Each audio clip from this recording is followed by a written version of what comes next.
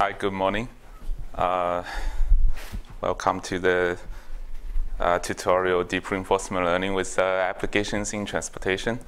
Um, my name is uh, Tony Qin. Um, I'm a research scientist with DiDi uh, Research America, which is based in Mountain View um, in South Bay.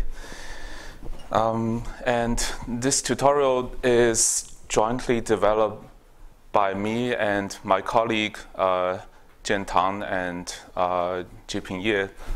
Um, but unfortunately, they, they have a con uh, conflicting schedule, so I'll be giving the entire tutorial.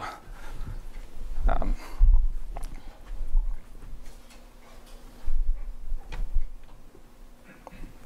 um, so here's our outline for today. Um, we'll have a brief introduction on uh, you know the machine learning paradigms and what is reinforcement learning, um, and then uh, we'll go into uh, some basics. Uh, we start from the value-based reinforcement learning, um, and then we'll go on to uh, policy-based reinforcement learning and uh, some aspects on multi-agent reinforcement learning, and finally we'll conclude by some discussions on practical issues. Um, and throughout the tutorial, uh, we will emphasize a lot on applications. So I'll show um, uh, many uh, recent application works in, uh, related to uh, transportation and, and ride sharing. Since you know, um, how many of you uh, are familiar with DiDi, what we do? Chinese. yeah. It's, it's, a, it's a basically a, a very large scale uh, mobile uh, ride sharing platform in, uh, with a primary uh, market uh, in China, but uh, we are now also expanding to Latin America and some other markets in the world.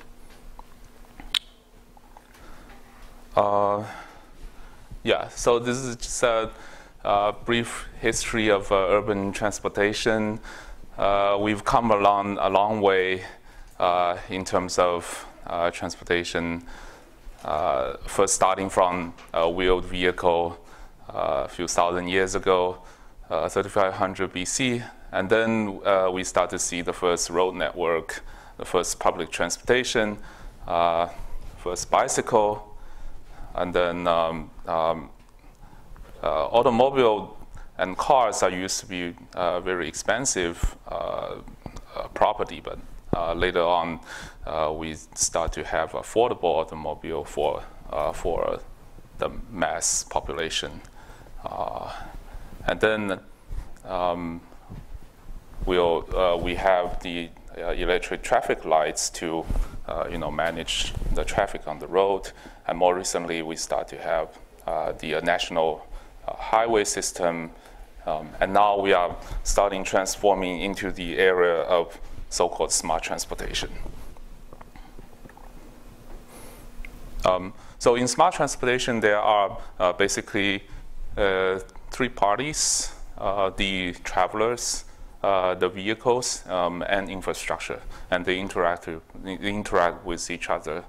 Um, so the transformation uh, to smart transportation system uh, goes from uh, driving alone to uh, sharing a ride with someone else, from you know human driving to autonomous driving, um, and from independent systems to a system that has a cooperation between vehicle and the the infrastructure. Um, so for yeah, uh, for the for the third point, I think for the first two points, it's uh, pretty easy to understand. Uh, for the third point, um, uh, usually it, it shows in the way of um, uh, you know the smart traffic lights um, and um, and those um, traffic board that that shows real time information. So those are the basic ones for the smart infrastructure. Um, and later on, uh, uh, some cities in the in the world are starting to experiment, you know, with um, uh, transferring information between your vehicles to, to the infrastructure on the road. And, and the, uh, the re revolution for smart transportation uh, definitely uh, cannot go without machine learning, the development of machine learning, which has by itself gone a long way. Um, and then we'll uh, we'll briefly talk about you know uh, the uh, supervised, unsupervised, but uh, we really will focus on uh, reinforcement learning. Yeah, and reinforcement learning has been benefited uh, tremendously by the recent explosive development in deep learning, um, which allows it to um, to be a more applicable to a uh, a lot of applications. Um, so machine learning uh, can basically be divided into three um, paradigms. So the first one is um, uh, predictive machine learning, which is to estimate and you know forecast certain quantities based on your uh, predictive signals, which, which also we call features. Um, and typically those tasks are classification and uh, regression. Uh, you have your features and, and you have your supervised signals uh, to, uh, to do your learning tasks. Um, and the second task is a descriptive uh, task, which is try to characterize the key properties of data set or, or a group of objects. Um, so here, uh, typically you don't have a uh, you don't have a label per se. So you're trying to uh, discover uh, the uh, the patterns uh, in the data set, um, and some of the example tasks include clustering or dimensionality reduction. And the third paradigm is prescriptive. So in in this domain, in this class of problems, uh, we are trying to uh, make decisions uh, which tells us what to do in different scenarios.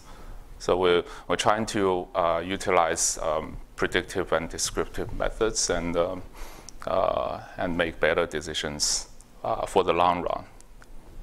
And, you know, this kind of problem is typically also known as optimization. Right? Yeah. So, uh, so in supervised learning, um, your data is in the form of uh, instances of uh, description, uh, descriptive data, uh, which are basically feature vectors, uh, the x case. And then uh, for each instance, you have a label associated with it, the yk. Um, and we want to we want to learn the learn the model, which is uh, a mapping f of x uh, from the data, uh, the features and labels, to, to capture the pattern between the features and labels. Um, so for example, for classification, then the output is, uh, uh, is binary or discrete. Um, and uh, for regression, then the output is continuous and real numbers. Yeah. Uh, in unsupervised learning, then um, as I just mentioned, uh, we only have descriptive data, uh, and we usually don't have labels. So some of the uh, learning tasks in this domain uh, include uh, trying to find low rank and latent representation. so for example, in the manifold learning, we're trying to we're trying to uh, discover the, uh, the latent representation of the data, which might be in high dimensional space. Uh, and in, for this Swiss roll, um, the uh, underlying uh, representation can really be shown as a, uh, on, a, on a one-dimensional space. And, we, and sometimes we also want to find the grouping structure, which is basically clustering, trying to trying to find uh, the uh, grouping structure for similar, hom uh, more homogeneous objects. Mm, and in deep, and in deep learning, uh, we have the uh, autoencoder decoder, uh, which is in a way also trying to uh, uh, find a uh, latent representation of, for example, an image, um, or and, and the result, well, which is in the in the center, is the so-called embeddings. Um, now, uh, in reinforcement learning, uh, the problem setup is quite different. Um, so here uh, we have an agent which interacts with the environment. Uh, the agent executes an action uh, based on its state uh, in each step um, and receives a reward from the environment. So it's, a, it's an interactive process. Um, and you continuously getting feedback from, from the environment that you operate in. So we want to, here we want to find an optimal policy, uh, which we denote by pi star, uh, to, to achieve um, maximum cumulative rewards in the long run. So we are not trying to uh, optimize our gain in the immediate next step, but we are trying to uh, uh, act in a way that it's going to maximize our uh, long-term long-term reward. Yeah. So, uh, so the way that it's different from the other two uh, paradigms is that uh, this in reinforcement learning, although we are trying to optimize the long run, uh, long run reward, but we don't have supervision on the long term reward. Uh, we only have uh, immediate feedback. So, so we have to um, utilize the immediate feedback signal to to guide our uh, learning process. Um, and the feedback is often delayed, right? So if you, uh, if you take an action at time t, then um, your reward can sometimes come back at uh, a few time steps later. Mm, it's, a it's a sequential decision process, um, and the uh, agent's action affects subsequent data received. So, so it's a more uh, more like an active learning process. So you, you can decide um, what kind of data that you are receiving later by, by taking uh, appropriate actions.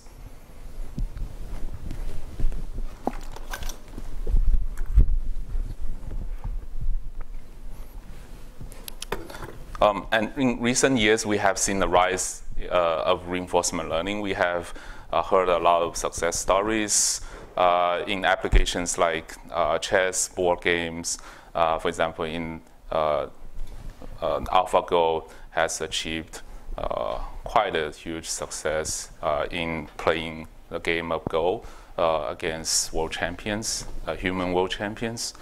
Um, and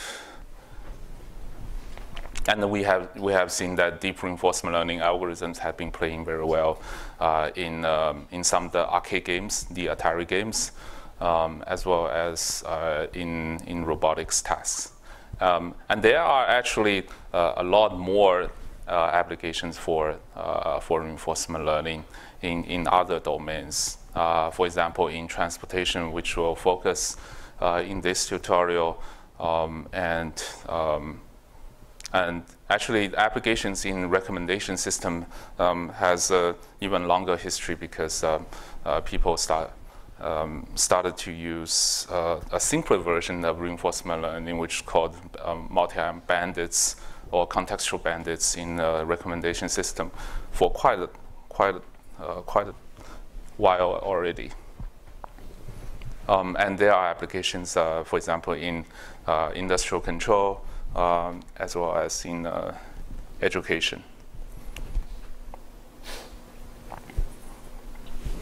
Um, so I also um, give an introduction about um, the uh, how it works on the ride-sharing platform. So this is a, a pair of screenshots uh, for a typical scenario when you are trying to get a ride on, on a ride-sharing platform. Um, here we, um, mostly we focus on single passenger trips. Um, you know, there are another, another set of uh, trips which uh, in which multiple passengers share a vehicle, so that's carpooling. Um, but for most of the works we are talking about here, uh, uh, we'll focus on single passenger trips. We will have some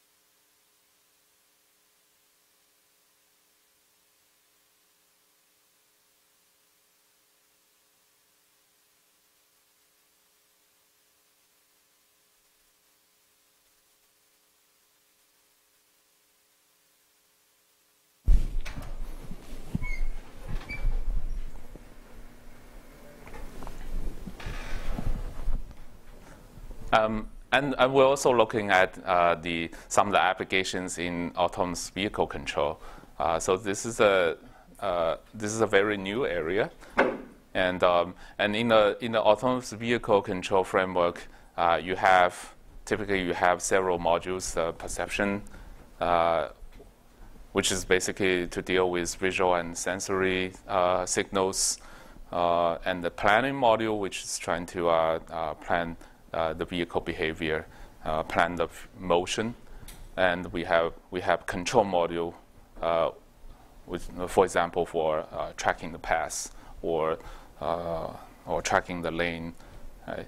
Um, there are a few challenges in uh, autonomous vehicle control due to the complexity of the environment. Uh, we have, you know, all kinds of colors, uh, uh, sh object shapes, different types of objects. you have you have complex background, and you have different viewpoints. Um, and um, and you want a smooth control. Right? For example, when you turn a vehicle, you want a, a, a smooth turning. Um, and, um, and since the environment changes very quickly, the, the control uh, algorithm has to adapt to the environment very, quickly as well. Um, and ultimately, uh, safety uh, is a very uh, particular uh, emphasis of this type of problem uh, unlike other uh, reinforcement learning applications. Uh, yeah, so, so here exploration would be a, would be a very sensitive. Yeah.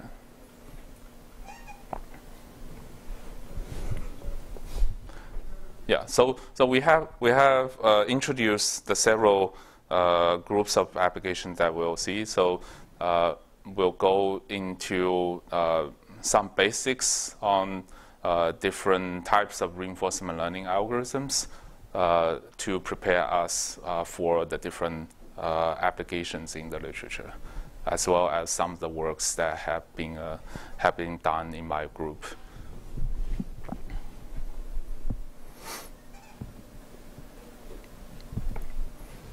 Yeah, so the reinforcement learning, uh, as I said, it deals with sequential decision making. Uh, so, so here in the entire process, um, we have multiple stages, and a decision is to be made at each time step, right? Um, and each step affects the subsequent step. Um, so, uh, so you have to basically you have to look into or uh, infer the future uh, in order to uh, um, optimize the, for the long run.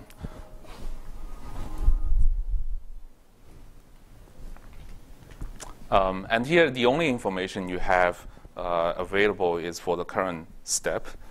Uh, and, and of course, the future is uncertain.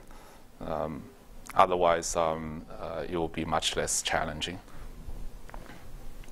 Um, and, and of course, we are interested in the long-term objective. Um, there are basically two uh, major challenges. One is um, uh, how we could uh, evaluate the quality of the decisions, uh, taking in, uh, the future into account.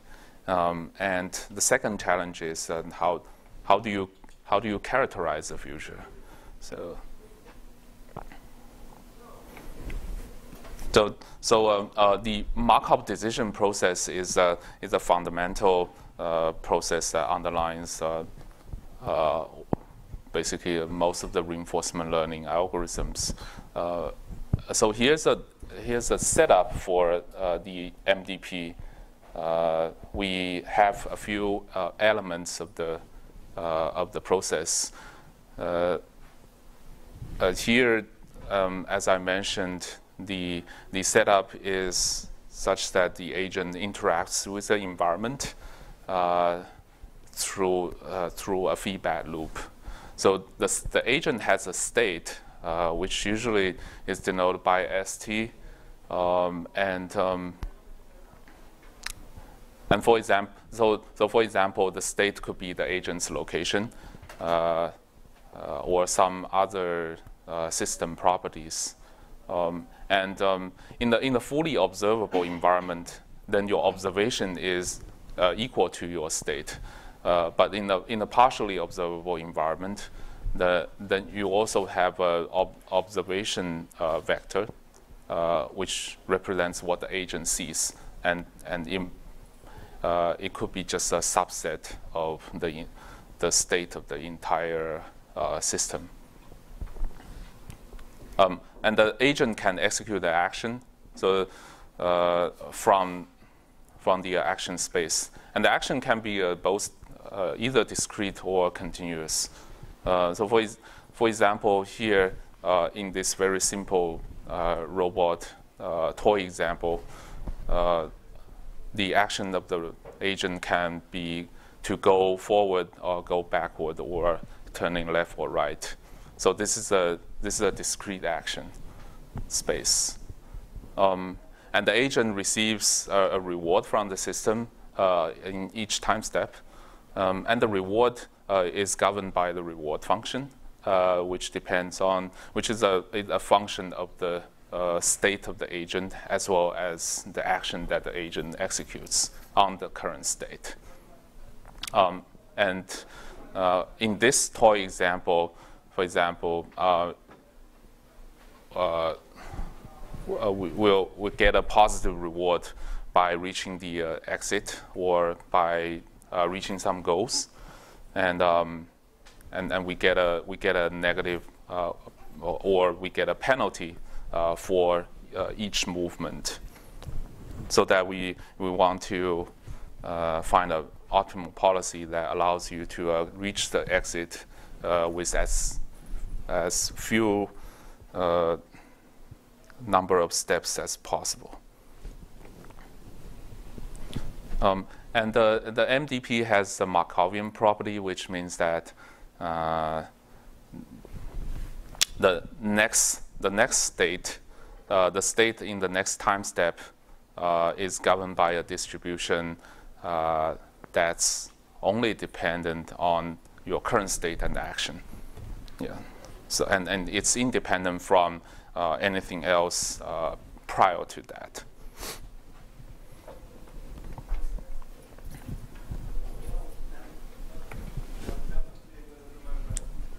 Um, so there are so, so in in this slide um, I laid out like those uh, basic elements that are uh, basically uh, would be would be given uh, by the problem or except in the uh, in the model free case, then um, uh, then you don't you don't have the uh, transition probability. Uh, and and here there uh, there are some quantities that we uh, usually want to learn through reinforcement learning.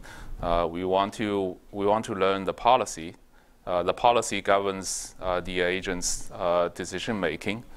So the policy is um, is a function of the state. So given the agent's current state, then the policy tells you uh, what action to take under this state. Uh, and the policy uh, can also be a deterministic or stochastic. A determinist policy gives you uh, uh, a specific action, and a stochastic policy gives you a distribution on the action space. So, so you usually you have to you have to sample from uh, the output of the policy in order to, uh, to get your next action. Um, and the ne next key quantity that uh, we want to learn in the reinforcement learning method is, um, uh, is value function. The value function is uh, estimate of the future long-term reward. Um, and we have two types of uh, value function typically. one is the so-called uh, v value function uh, we denoted by v, that's a state uh, value function. it's the discounted ex expectation of the discounted cumulative reward given that you are currently at state S. Right? And, the, and the Q function, which is a, a, state action value function, is um, is, uh, is slightly uh, more complicated. So it's conditioned on uh, your current state and the current action that you take. Um, and it's also an expectation of the uh, discounted cumulative rewards. Um, the gamma, gamma here is the, uh, is the discount factor. So to understand the discount factor, we just think about you know, the uh, uh, inflation rate when you, when you save your money, right? So, so $100 uh, uh, that you receive 10 years later is typically uh, in the in a smaller amount if you if you think about it in the in the current time point. Yeah, um, and the environment model um, it's the it's the dynamics that that governs the change in the state with actions. Yeah, so the, so this is uh, this is really the transition probabilities uh, and the reward those are those two elements uh, gives you the environment model.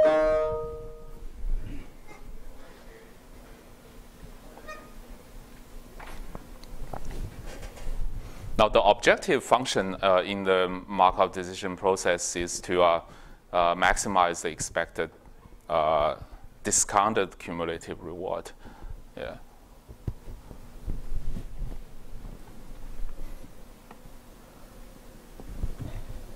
Um, and uh, the policy pi determines the action.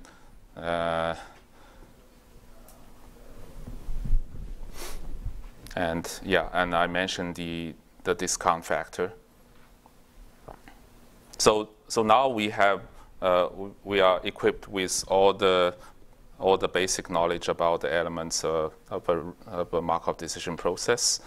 Uh, there are uh, different types of reinforcement learning methods. So here I characterize uh, them into, uh, into two big groups.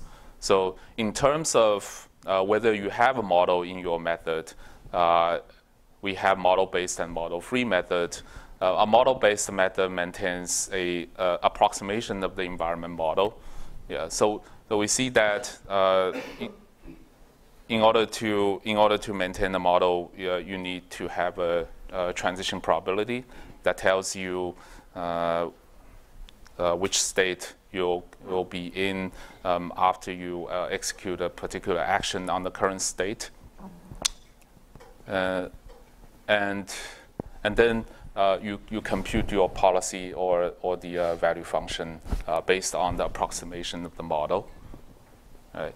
Um, and if, uh, if we don't uh, explicitly uh, approximate the environment model in the method, then we are, we are in a model-free method that just uses a data-driven method to, to directly compute the policy or value function. So for example, uh, we'll see uh, the DeepQ network uh, for, for playing the Atari games. So that's a, that's a model-free method. Um, and uh, depending on what you learn or, or what you compute uh, through the re reinforcement learning method, then uh, you also have different types of methods. That's value-based uh, or policy-based or both. So a value-based reinforcement learning method, uh, the main task is to uh, learn the value function. So whether it's a it's a V value function, the state value function, or the state action value function. Um, so policy here is uh, implicit and uh, it's derived from the value. So for example, if you uh, if you follow a greedy policy, then after you get the value function, you just pick the pick the action uh, that maximizes your uh, your value function. Uh, in the in the policy-based method, then you, you're trying to learn the policy function directly by uh, interpreting the problem as a, as an optimization problem in terms of the policy. So, so you go along the gradient of the policy. So that's, that's why it's, all, it's also called uh, policy gradient methods. Um, so typically no value function is explicitly involved here. But if you have both, then we'll see there's another type family of methods called actor critic. actor means the policy and critic is your value function.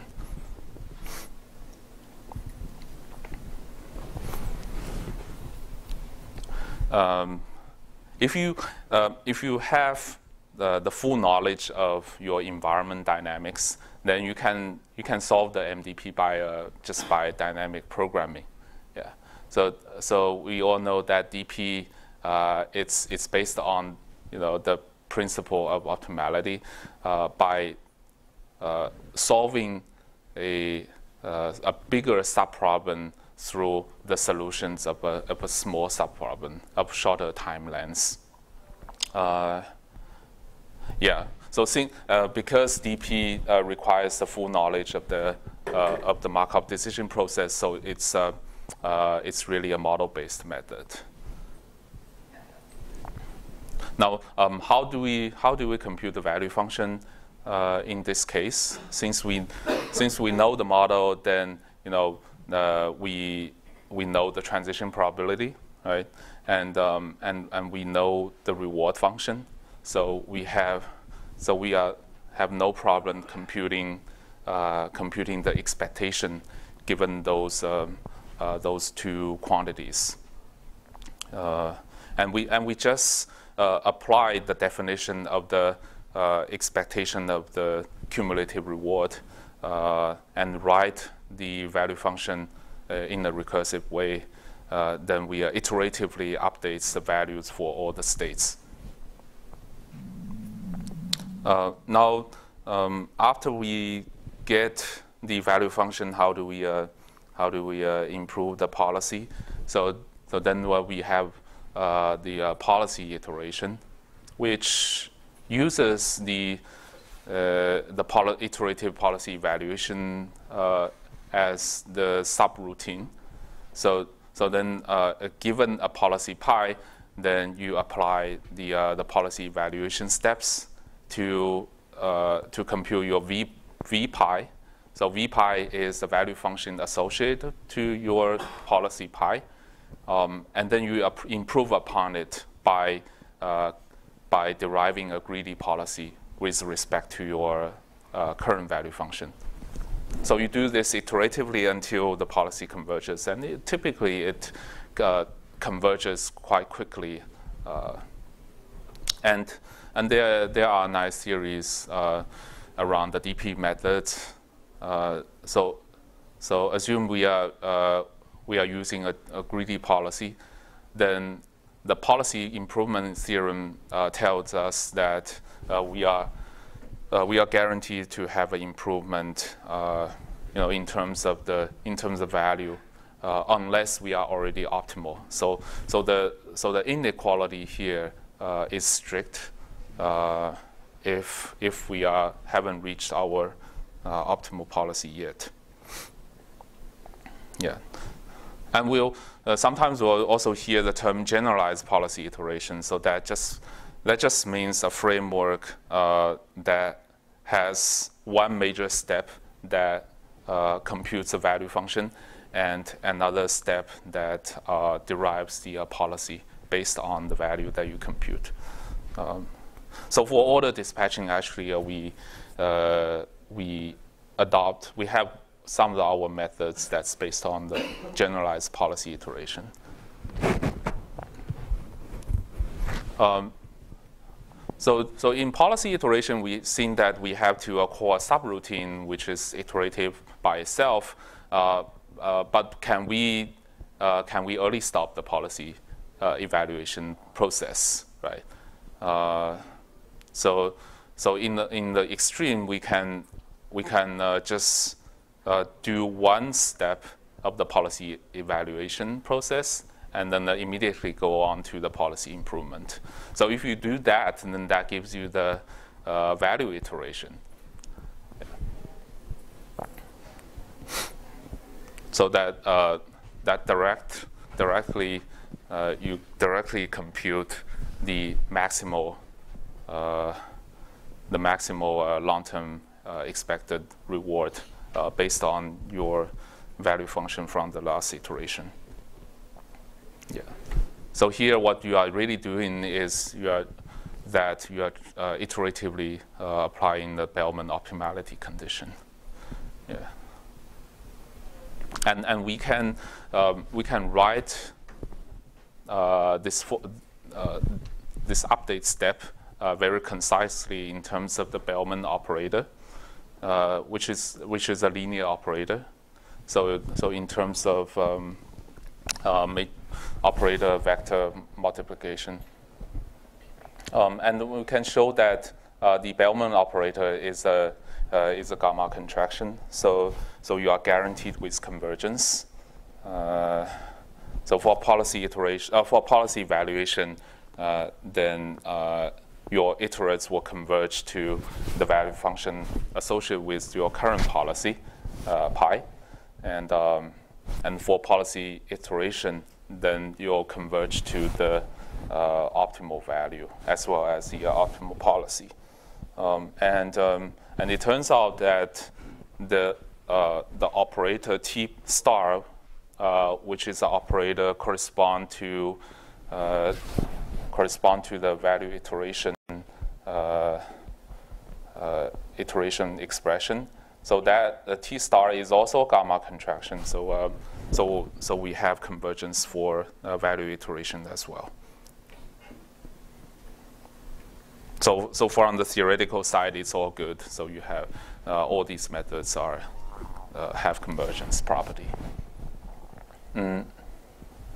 Now, uh, what if uh, you don't have an environment model, well, which is uh, which is very typical in, um, uh, in in practical applications. Environment model is too complex to to approximate. So so in this case. Um, uh, we have to resort to uh, data-driven methods. So there are, there again, there are two uh, major types of methods. One is based on Monte Carlo simulation, uh, and the other, uh, the other family of methods is the so-called uh, temporal difference learning.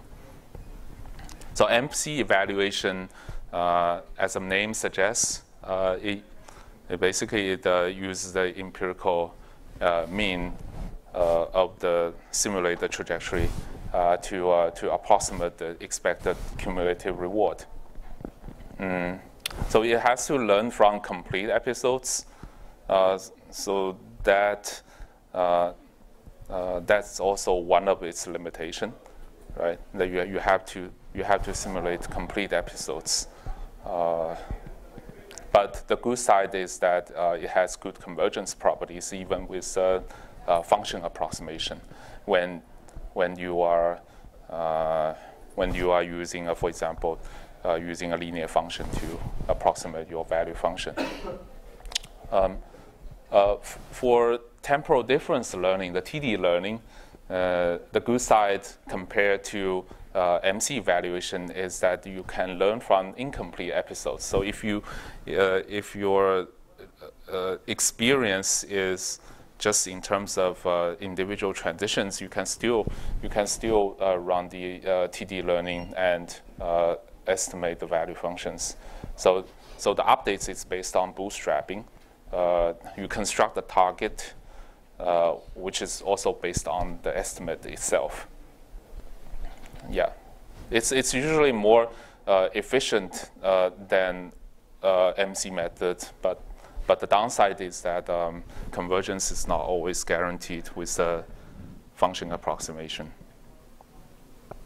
Yeah. So let's take a look at uh, the MC valuation. So uh, we we have a we have a sample-based cumulative reward. It is counted cumulative reward, which we write as G capital GT. So so you just add up um, the the reward that you see from your Monte Carlo rollouts uh, from, from the different time steps. Um, and you have different ways uh, to, uh, to do the MC evaluation. Right? So, so you have, we have the first visit or, or every visit. So the first visit is that um, you start to uh, compute the cumulative reward for a particular state uh, uh, every time you see that state, the first occurrence uh, in the in the uh, Monte Carlo rollout. And every visit is that you compute the cumulative reward for every time the state uh, appears in the in the episode. Yeah. So so convergence is guaranteed by uh, law of large numbers because you uh, you do a lot of rounds of simulation. You uh, compute uh, you compute different instances of the sample-based uh, cumulative rewards for different different state, uh, and then you take the average. So if you if you sample, if you uh, do your Monte Carlo rollouts large enough, then you are guaranteed with convergence. Um, and you can also learn uh, the Q function in a similar way. So so instead instead of the first time you see uh, state S, then uh, it changes to the first time you see state S and executes action A. Right. Uh, yeah, and um, and and sometimes people use a more uh, convenient form of, in, uh, of incremental update, uh, which can be helpful in a non-stationary environment as well.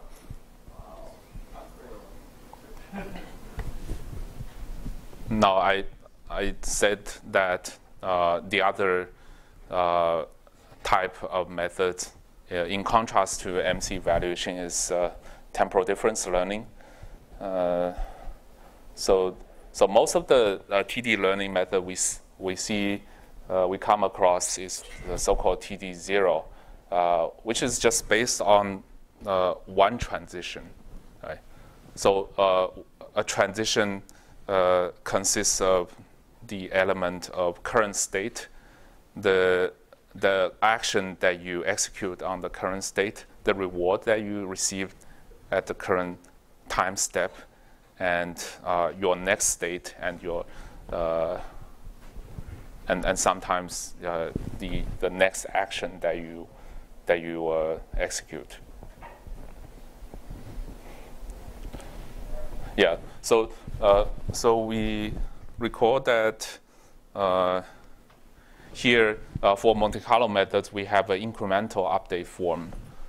Um, so in, in the temporal difference learning, actually, uh, we just, uh, we just uh, replace the actual return with the bootstrap target in the incremental form. Um, so bootstrap target here is this part. The, the immediate reward plus the discounted uh, future value. So yeah, so that that basically gives you a, a, a approximate of the uh, of the GT, which is the um, uh, the sample-based cumulative reward. Um, and the uh, the update term uh, is called the temporal difference error uh, because it's a, it's a difference uh, between, between the approximation of the, um, uh, the approximation of the value starting from the state st using the, the sample of the reward gained from uh, the current transition uh, as compared to uh, using the the value function itself, right? So so this approximation really, if you think about Monte Carlo rollout, it just roll out one step, and then for starting from the next step, then you use bootstrapping, you use the uh, value function estimate again. Yeah. So the so the TD target is biased because um, because you are just using uh, using a, a sample uh, reward for uh, for the current time step. Yeah. But but the advantage is that it has a much lower uh, variance than than GT because uh, because it's only based on one step of transition instead of uh, you roll out the entire uh, episode and compute the sample cumulative reward out of it. Um, we have we have an n-step version of the bootstrapping, so uh, it's uh, easy to understand. You just uh, you just roll out more steps and uh, uh, accumulate more samples of the reward. You add add them up, and then um, starting from the n step, you you use bootstrapping. You use the uh, estimate of the value function itself to compute the n step and which can later uh, substitute into um, uh, into into this part.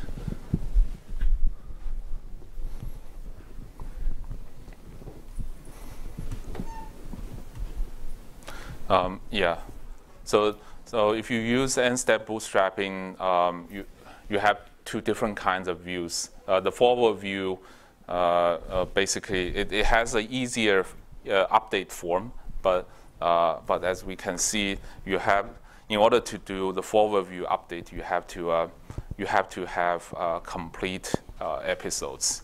You have to roll out uh, your trajectory up to the end of the episode in order to be able to compute the GT.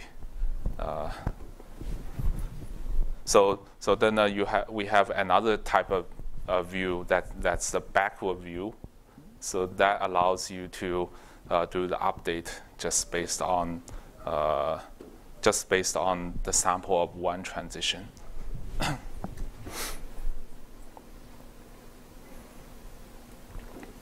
um, so far, we have we have been uh, focusing on uh, you know computing the value for the state, uh, but how about uh, performing control? Right? Eventually, the purpose of using reinforcement learning algorithm is to uh, derive a policy. You want to make decisions. Uh, but uh, if we just have the value function y uh, v pi, uh, how do we make uh, control decisions? it seems that we still have to know the transition probabilities in order to find a greedy policy, right? but but hey, we are in model-free domain, so we don't have uh, transition probabilities. Uh, so what do we do? Yeah. So in this case, we can we can learn the state action value function uh, directly.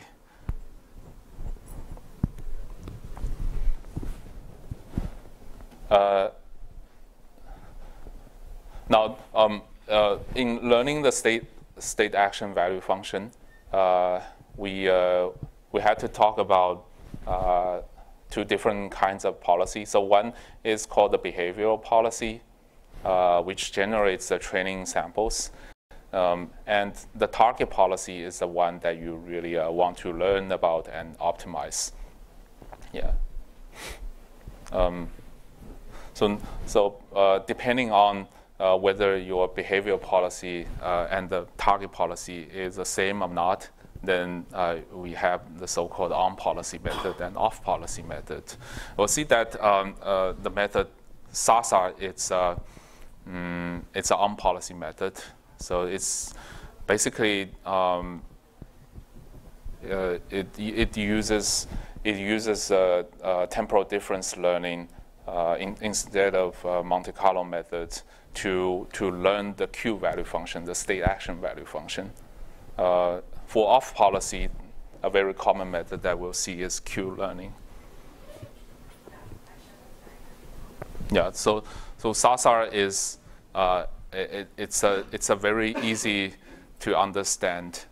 Uh, so it looks very similar to a TD0, except that uh, for, each, for each transition, you have you have to know uh, the next action as well. So you, you, require slightly more information in order to do the updates. Uh, but otherwise, it's, uh, uh it has a very similar form to TD0. Uh, you, you, uh, you, just, you just plug in the temporal difference um, updates. Yeah. Um, and since, since it has an uh, it has a similar form to TD0. Then it also, also has a lambda form, uh, which correspond uh, to n-step bootstrapping. but using the Q value function.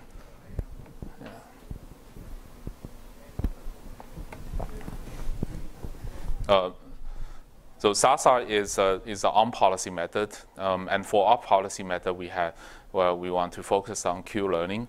Uh, it's a it's also a t, uh, based on temporal difference update, uh, but it's a, it's an off-policy control method.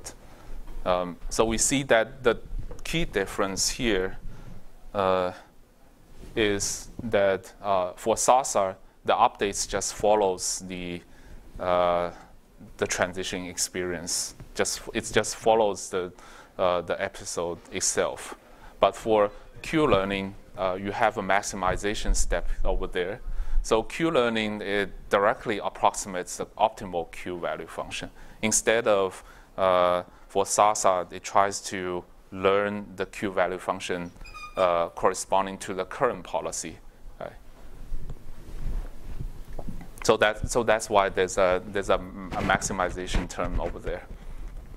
Uh, um, and the next uh, the the next action uh, in the in your data is uh, uh, is chosen by the behavioral policy. Um, but you are you are trying to uh, your target policy is the optimal policy. So those two policies can be different, and that's why it's a it's an off policy control method. Um, uh, both, but both uh, SARSA and Q-learning has um, mm, uh, nice convergence property. Yeah, um, and and here it's just a, a, very simple example showing the different uh, different property of uh, uh, of a SARSA and Q-learning in the in a very simple example. so after after training. Uh, so eventually, the two methods converge to the same um, to the same cumulative reward. Uh, but during the during the training, the Q learning, I think it um, uh, it goes it goes a safer uh, path. While oh, uh, Q learning actually goes through this path, while the uh, SARSA goes goes the path on the top.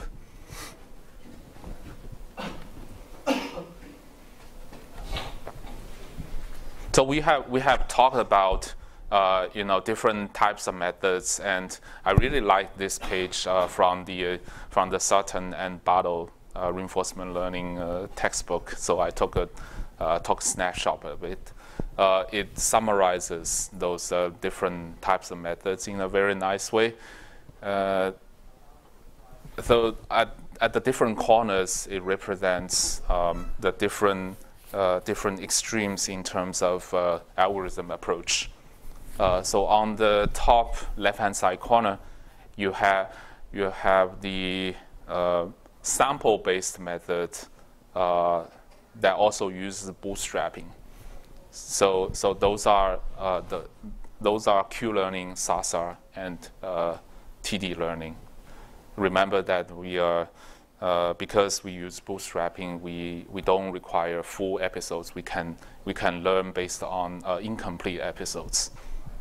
But if we, uh, if we have complete episodes data, then uh, we, we can use uh, Monte Carlo evaluation. We can use Monte Carlo MC control.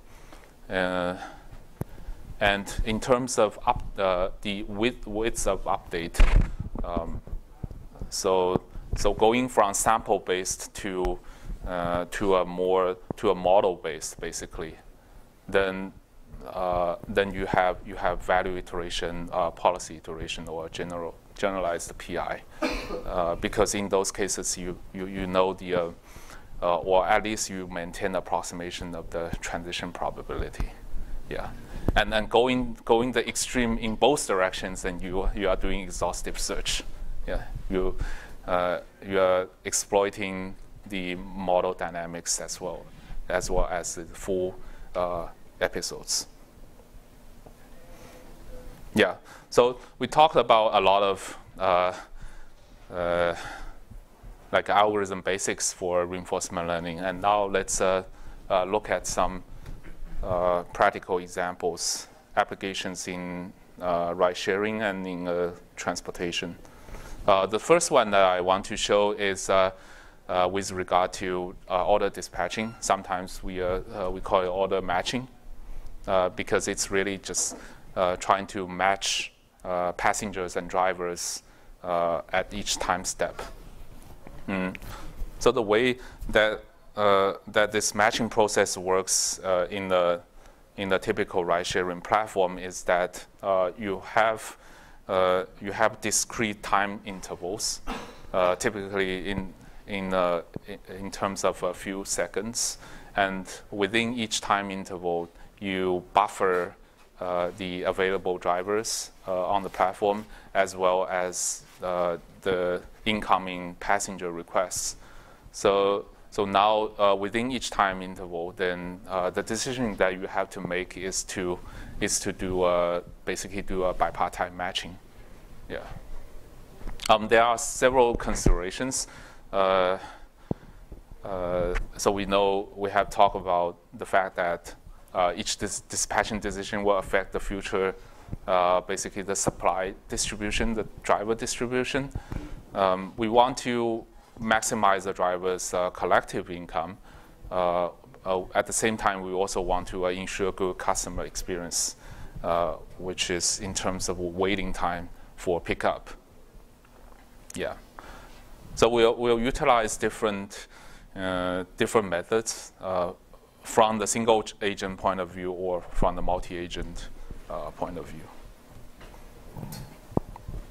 So this is a, this is a generalized policy iteration uh, framework that I, that I mentioned.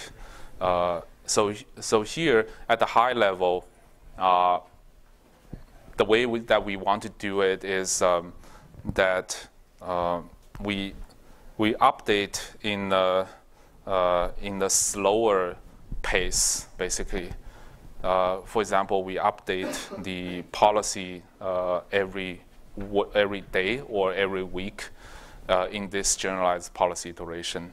So, so in the evaluation step, uh, we learn uh, the value function from the trip data that we have collected throughout the several days uh, within the update interval.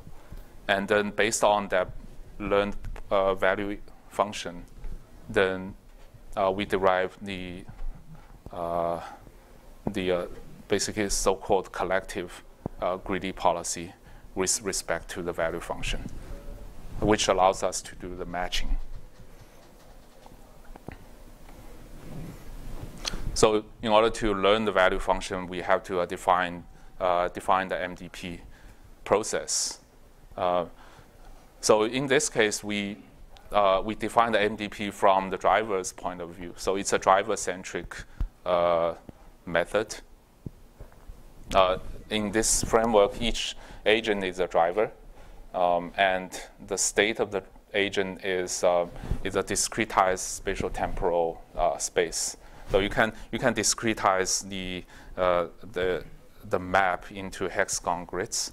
Uh, you can also discretize your time in terms of time buckets.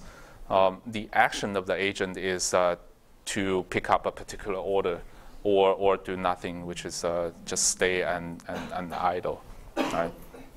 And the reward is very, is very clear. So it's just the driver's income from a particular trip. Uh, and the episode is uh, starting from the beginning of the day to the end of the day. Yeah. And the value function is the uh, expected, uh, expected cumulative income of a, of a driver uh, throughout the day.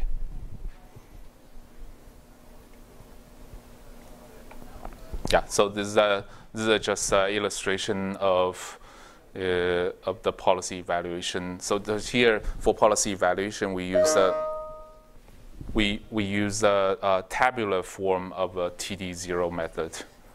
Uh, let me just, yeah. Uh, so this is, this is a one transition. Uh, the trip starts from here and the trip ends here. Oh, actually, um, I think this is, uh, this is the idle movement. uh, so the driver originally is here and uh, moves to this spot, uh, and it, the driver picks up a trip and goes to the destination. Right.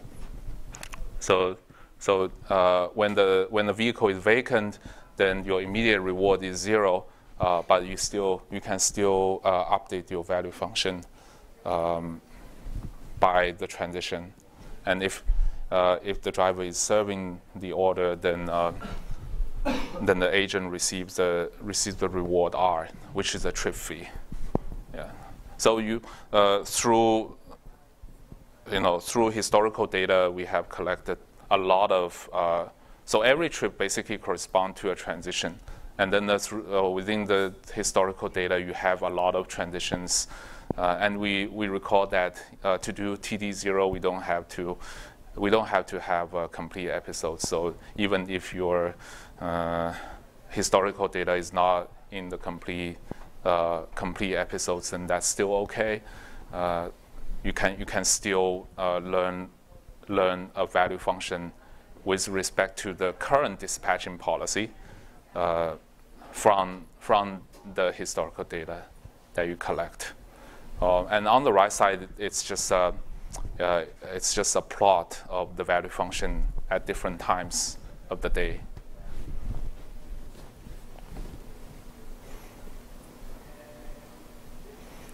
Uh, now we have learned the value function. Um, how do we how do we derive the uh, uh, the policy out of it? So I mentioned that it's it's basically a bipartite matching. So the key here is to define the edge weights, right? Uh, and with the learned value function, we, we find that uh, there's, a, there's a nice way to define the edge weights, which is use so, with, uh, so-called ad advantage uh, with respect to the value. So the advantage is in the, in the same form as the temporal difference error, actually. Um, and um, and they basically you can think about it as uh, scoring uh, each pair of driver and order. So uh, to provide a score for, for each potential match. Um, and then you solve the bipartite matching uh, to which, um, which maximizes the, the total uh, advantage within, within the group of drivers and passengers.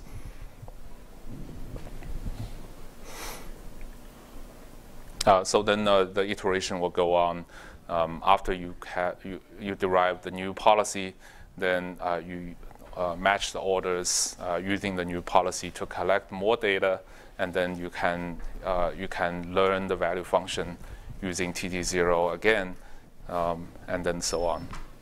Is, is the same policy for all the drivers? Uh, yeah, so uh, it's a it's a policy for doing the bipartite matching, so it has to be, you know it has to be the same. But before that, when you were learning the value, it's the same for every driver. So you consider, so if you are looking at the data, then you don't consider the driver IDs. Every experience you consider Right, right. Yeah, in this case, uh, you can think of it as crowdsourcing the experience from all the agents. Yeah, it's a, it's a really a simplified way of uh, approaching this multi-agent problem. But later, I'll talk about uh, uh, our attempt uh, from the multi-agent perspective. Yeah.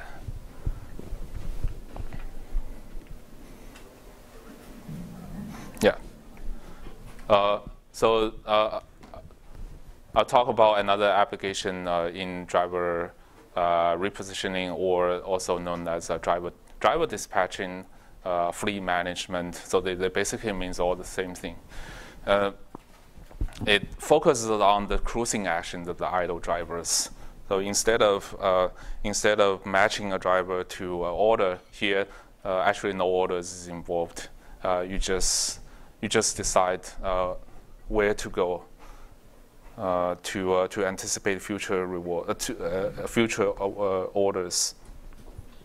Mm, yeah. So dispatching is an external factor. It's with, we can think of it as part of the environment.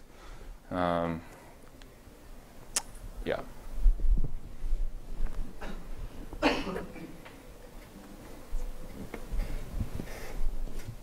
Um, so this is this is the one work uh, that does the repositioning using using uh, Monte Carlo learning.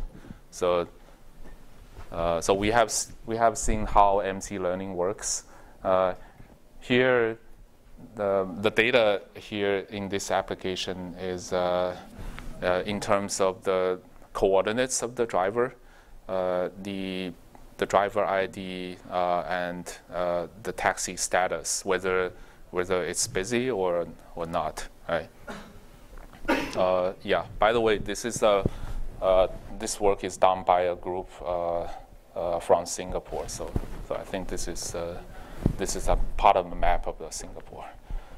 Yeah. So they, so they annotate and they convert, uh, they convert the data into, into a driver activity graph and pre-store the shortest path information between points. Um, an episode here uh, is the entire uh, cruising process.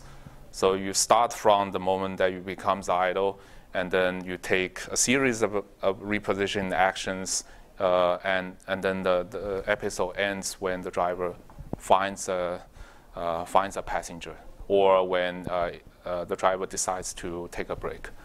Yeah. And the trip cost is subtracted from the reward uh, the value function. So here they learn a Q value function in the tabular form, uh, and the value function can be uh, can be computed exactly by the MC learning method that we talked about in the previous slides. Yeah.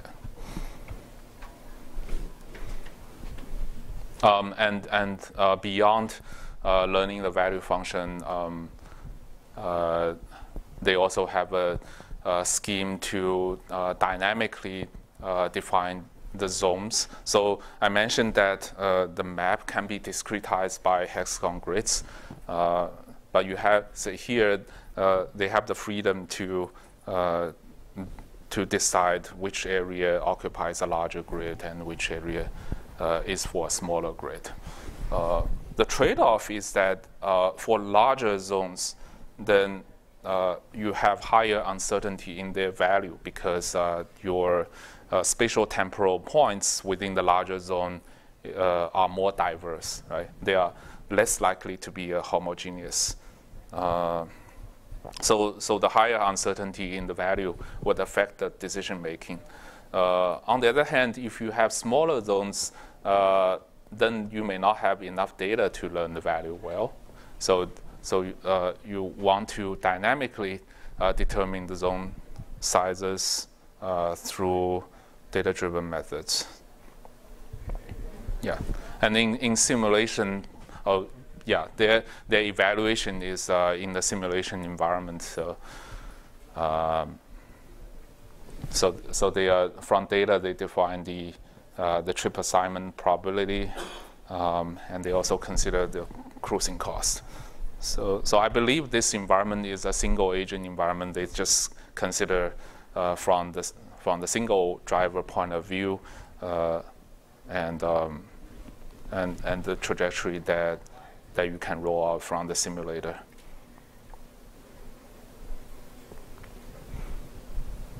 Um, yeah, I want to mention another work uh, that's very recent. Uh, it also uh, consider the repositioning problem uh, using the DP method. So, so the MDP defined here is, uh, is very similar. You, you, have the state in terms of in terms of the driver's coordinates, time. Uh, I think they, they have an additional indicator for uh, whether the driver has already been matched or not. Uh, so the situation here is on the ride sharing platform. Uh, there are eight actions, uh, so they operate within the grid uh, grid map world. So you have you have six neighboring grid, and you have two additional actions correspond to a state, stay or cruise around the grid or, or staying still. Okay. The episode is also a day from, from the day, beginning of the day to the end. And and um, learning the value function, for learning the value function, they, um, uh, they, use the, they use DP methods to compute the Q function. So by doing that, then you have to uh, estimate all the uh, all kinds of probabilities because uh, you have you have to explicitly write out uh, write out the uh, expectation form for the Q value function. So so they they estimate from data the the order matching probability, pickup probability, uh, destination, and uh, order matching probability on trip. Uh, up, they, they are done, they are learned from, from the separate uh, process. And then after you have all those data, then, uh, then you can uh, use DP to compute the Q value function, which allows you to do the control. Yeah. So that uh, with that we uh, we have uh, looked at basically all the methods that's uh, based on tables. So they are tabular method. you represent the value function in the exact form, but in the discretized form. so next we'll we'll look at methods that employs the value function approximation. So maybe let's see. Maybe we can take a 10 minute, 5 minute, 10 minute uh, restroom break, and then uh, we'll come back and go on to the value function approximation. Yeah.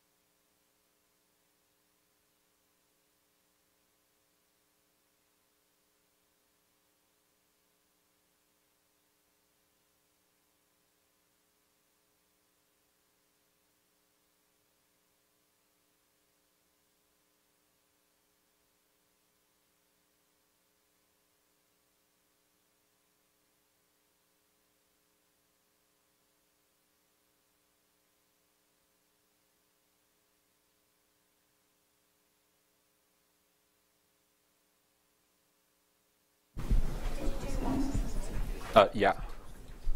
Is it working? Yeah. Okay. Yeah. So next we'll uh, ne- we'll talk about value function approximation, because uh, uh, in the tabular form method, um, you know, we are representing the value function in the exact form, um, but um, you know, typically we are facing a high dimensional situation. So, so uh, we have to use a value function approximation to, uh, to do the learning.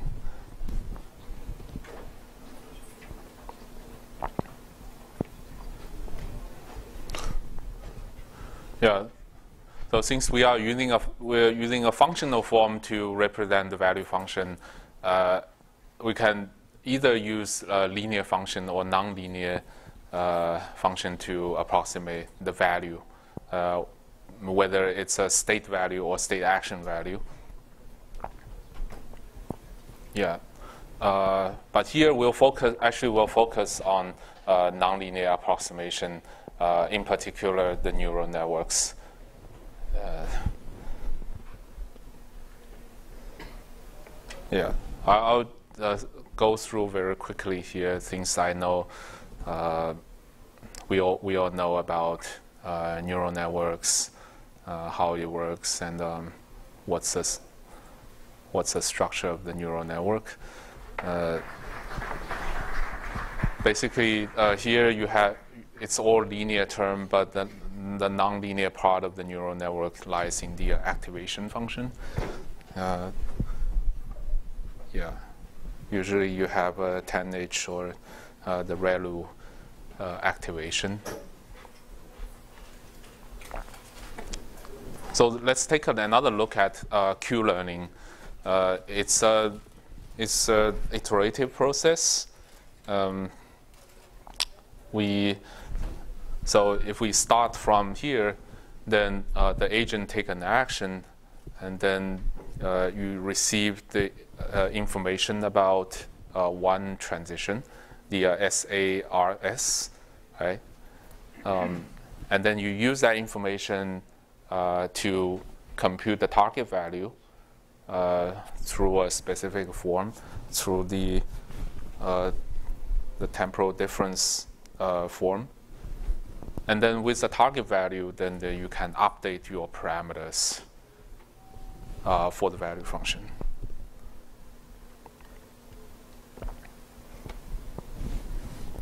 So if, if we use a, a, neural network as a value function approximator, uh, then that gives us the, so, the so-called uh, deep Q network. That's uh, DQN.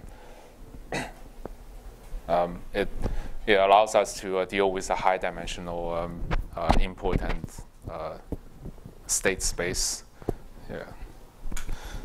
Especially in transportation applications, very often we, we have to represent the state uh, by a number of features. So in that case, um, it's uh, impractical or infeasible to, to represent the value function in the tabular form. Um,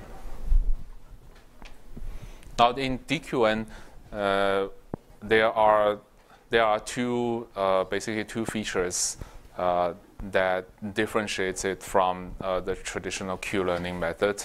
Uh, one is uh, uh experience replay, and uh, the other one is a target network.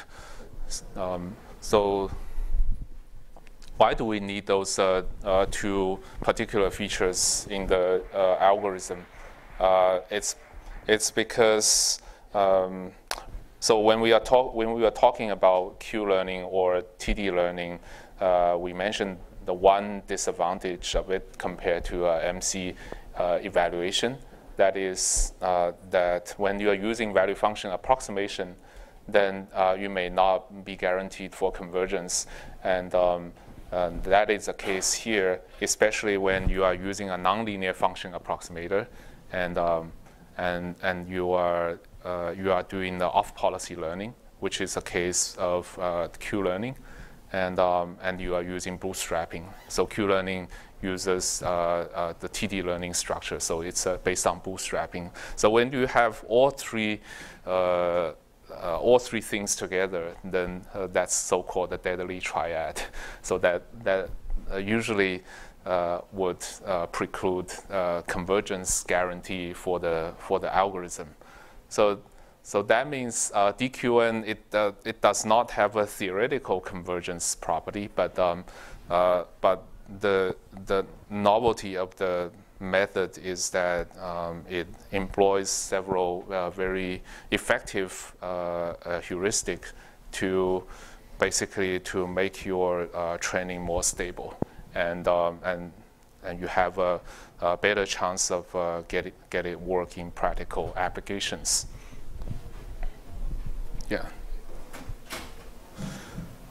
Um, so this is a this is the uh, recap of Q-learning uh, with neural networks substituted into the uh, value function uh, in the in the very concise statement. So um, so there there are some potential problems uh, as I mentioned uh, when you are when you are using a, a nonlinear function approximator. Uh, so one is one particular problem is the correlation between the transition samples, uh, which which usually leads to unstable training.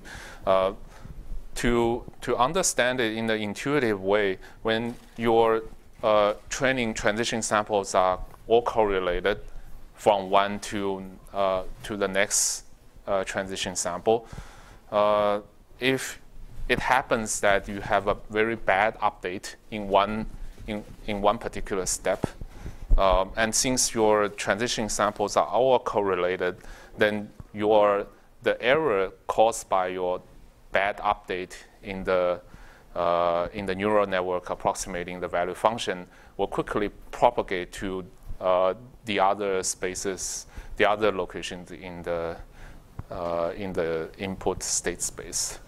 Yeah. So that's, that's why it causes a, instability in the training.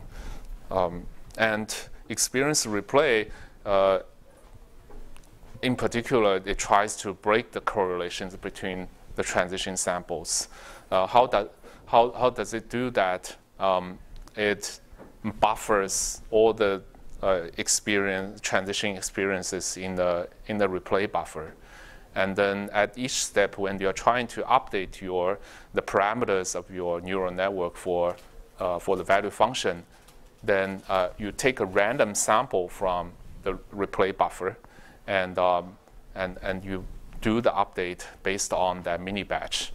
So, uh, so in that way, then uh, your the samples, the transition samples that you use to uh, update your value function from one step, one iteration to the next would be uh, uh, unlikely to correl correlate with each other. Yeah, so so this is uh, just uh, to uh, to to put in the replay buffer feature that I talked about, um, and and you do mini batch update. So, uh, so you construct the target uh, based on uh, the mini batch of uh, transition samples, and you get the yi. And, and at the update step, uh, you uh, basically do a stochastic gradient descent update with respect to a least squares loss function. Yeah. So the next problem uh, lies in the maximization term here. So, so here uh, we see that the maximization term uh, is really computed by uh, by the same uh, Q function for evaluating the value as well as for selecting the maximum, the, uh, the argmax action.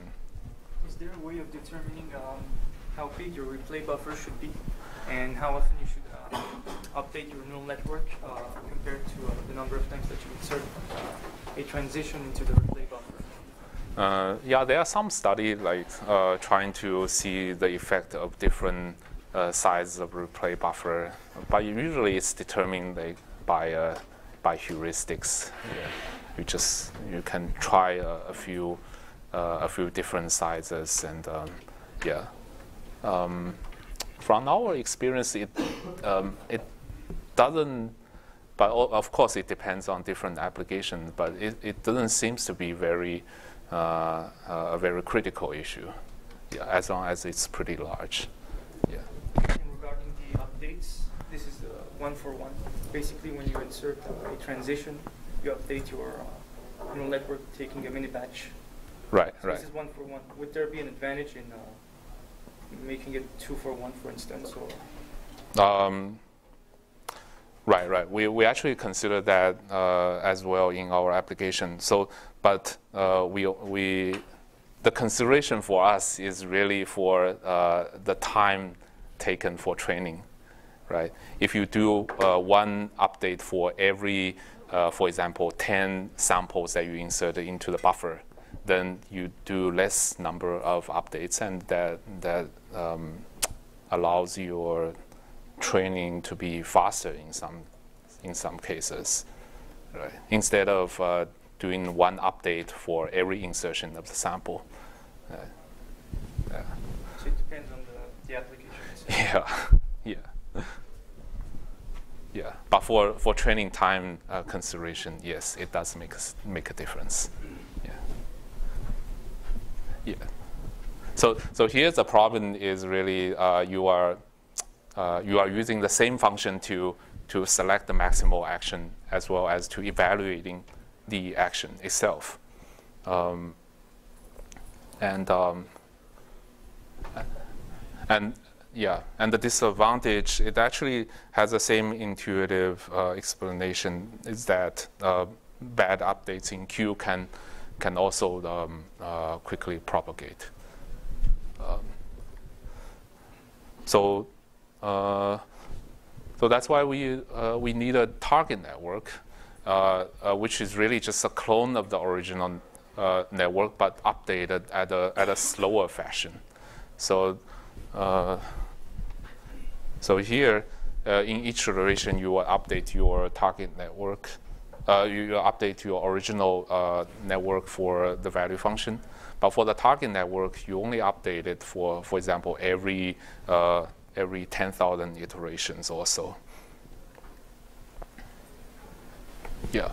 So then uh, you you can use uh, the target network to uh, to compute the target instead of using the original Q to compute the target, you use the target network to compute the, the Q prime to compute the target, uh, and then you uh, update uh, the parameter zeta prime corresponding to Q prime for every uh, capital C steps.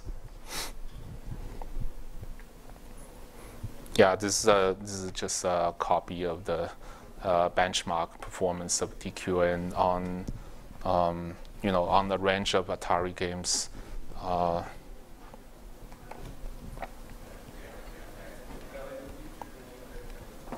yeah, I think the uh, uh, the center line here is uh, human level performance. So for a lot of a lot of game cases, DQN outperforms human level performance.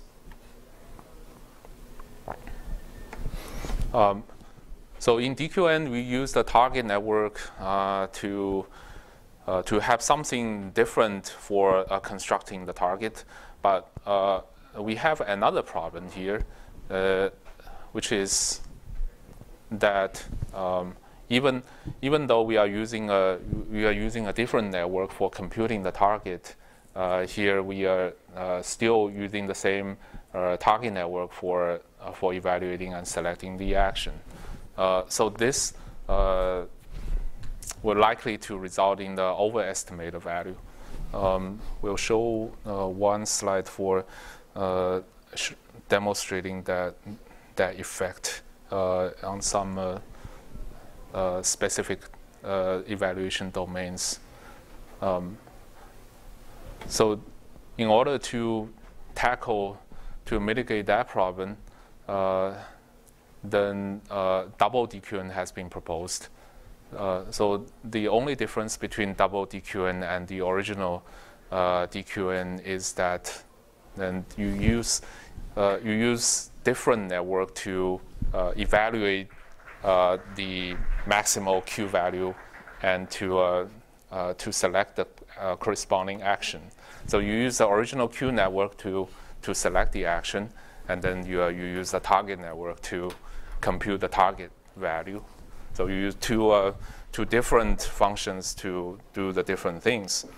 Um, and that makes it less likely to overestimate the value. Yeah, so this is uh, just to put in the put in the uh, uh, the modification for double DQN, um, and and this is the demonstration of uh, showing how uh, DQN can sometimes to uh, overestimate the value of uh, certain actions. So the, the orange part corresponds to the DQN and uh, the purple part is for double DQN. So during training, we see that uh, uh, DQN, the, the training curve of DQN really lies uh, far above that of the double DQN, but it's, it's much less stable actually. And the instability of the uh, of the training curve correspond to uh, a worse uh, performance score. So, so we see that the overestimate of the value really has some uh, detrimental effects on, on the learning itself. Yeah. So, um, so we also have um, methods applying the DQN for solving the order dispatching problem. Um, so let's recall that uh, for order dispatching, uh, we have set up an MDP from a single driver's perspective, um, and, um, and the transitions correspond to uh, the individual trips themselves. Yeah, and, and in TD, tabular TD methods, uh, it's very uh, intuitive and simple to uh, to perform the updates by just uh, using the trip data. But uh, that method is limited by uh, by its capacity of representing the state space, uh, because you are, you can only represent the state by the coordinates of the driver and time and that's already, uh, uh, if we represent the coordinates by uh, this hexagon grid ID, so that, that's already putting you into the two-dimensional space. And if you are putting uh, additional features, then you, uh, you will be uh, in a higher dimensional space, and, and it's harder to represent the value function in that form.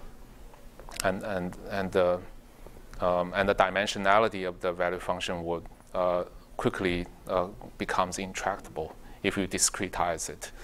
Um, so, but um, there are uh, many advantages uh, to use more features to uh, to represent the state space of the driver, uh, to allow the value function to be more responsive to real-time supply-demand context changes. Right. For example, we can we can represent, enrich the state feature by uh, the number of available drivers uh, around, the around this particular driver or uh, the uh, number of uh, open orders uh, within the neighborhood. So that, that gives you more information about how the supply demand context is like. Yeah. And also by using a neural network, it, it facilitates the learning from multiple cities and, and times and, and allows you to do transfer learning. Um, yeah, but uh, training uh, training a DQN network on the uh, on the historical data, um, we we have to uh, uh, perform some modifications uh, in order for it to uh, in order for the training to be uh, stable and successful. Yeah. So, uh, so the basic form of the training data is similar to uh, to the TD learning uh, situation. Uh, we also have the location and time, but we have a set of contextual features, F, F0 or F1, that represents the supply-demand context. Yeah, and, and everything else pretty much stays the same.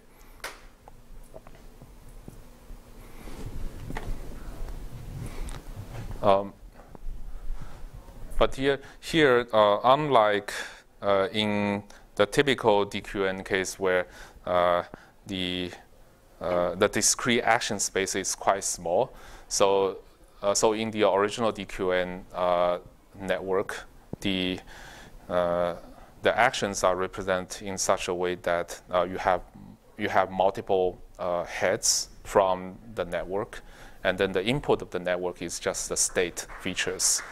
Um, and so, so with the multiple heads, you can select uh, the action that maximizes the, the Q value pretty easily. Uh, but in, in this case, uh, you can imagine that uh, the number of actions uh, available is, is huge um, because, because your action is just for taking a particular order and the destination of the order uh, even if you discretize the entire map, it can be a, a pretty large number. And so, uh, so we directly put the action as part of the input to, uh, to the Q value function. Mm. And we remember that in the update, uh, in the update procedure for Q learning, we have to perform a maximization term uh, for constructing the target right? Uh, but we have a large uh, action space, so so um, it's it's very impractical to search through all the val valid actions through within the action space. Um, so we we construct the approximate action space uh, by by looking at uh, what are the historical trips originating from uh, from the neighborhood of the current state, represented by by the uh, hexagon grid. Um, and, and those, uh, those historical orders will constitute the, the available uh, actions uh, for computing that maximization term.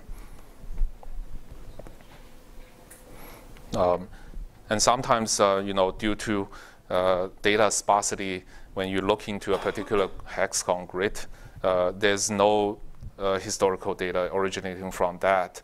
So we have to do a, a expanded action search uh, to, uh, to go to the neighboring uh, hexagon grids and, and search for any available historical orders originating from there. So this is a this is the ex, uh, the expanded action search, and and uh, within this search, uh, then you have to take into account the the time that you have to you have to take going from your your current location to uh, to the search destination grid. So action here is again the matching right assignment of demand to driver. Yeah, yeah. For any particular driver, the action is uh, to take a particular order. And the order, you can characterize the order by its origin, its destination, right? So after taking that action, then the driver is brought to the destination. So that's a, that, that's a, that's a transition of that. are multiple drivers and so the assignment is done single demand versus multiple drivers? Mm, the assignment is done through, uh, through the bipartite matching. So, uh, so remember that Single demand and multiple drivers. Yes. Yeah. Yeah. Yeah. From the single driver's perspective or global action? Mm, here, the action is from uh, from the single driver perspective. Because if you think about uh, the, from the global perspective, then the action space is uh, is intractable. because it, ha- it has to be the combination of all the, all the potential match. Yeah.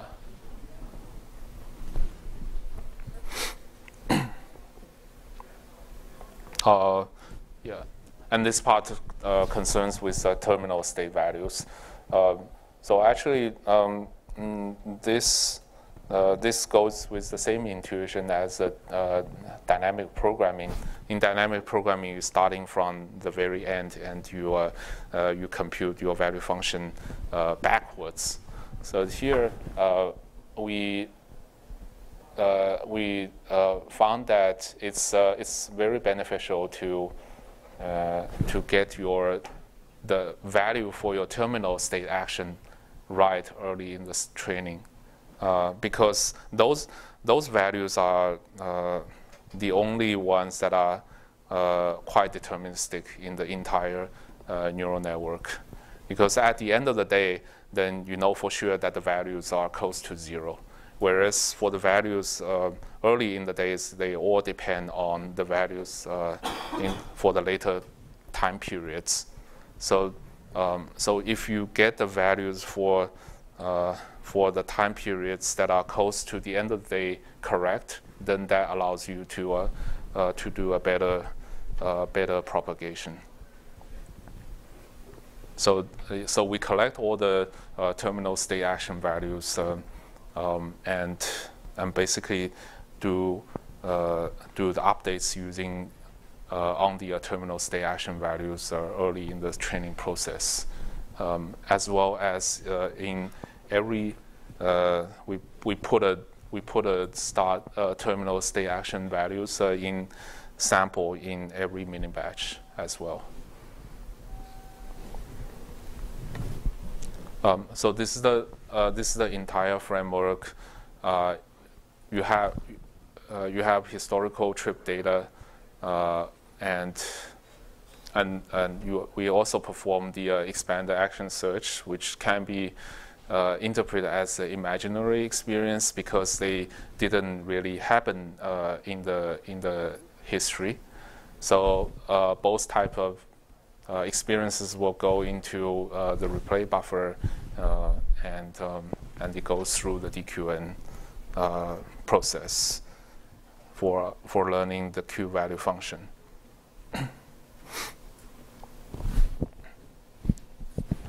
um, so uh, we uh, evaluate the algorithms on on six uh, on on four cities uh, uh, in China uh, with different sizes and different different regions, and we constructed a, single single driver test environment, and we compare.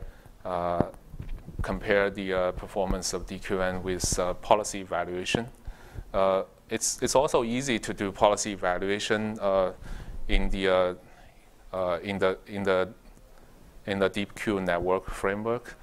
Uh, you just replace the max maximization of the Q term uh, with uh, with the average Q in the mini batch updates. So so that gives you the policy evaluation version of it.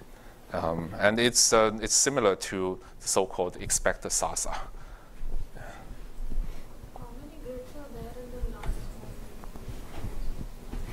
Uh, grids, number of grids can go from uh, several hundred to several thousand. Yeah, so so they they can differ a lot. Yeah.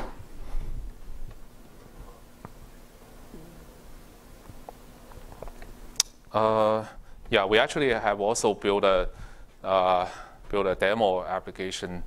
Uh, this is uh, really to to visualize uh, some of the dispatching uh, actions.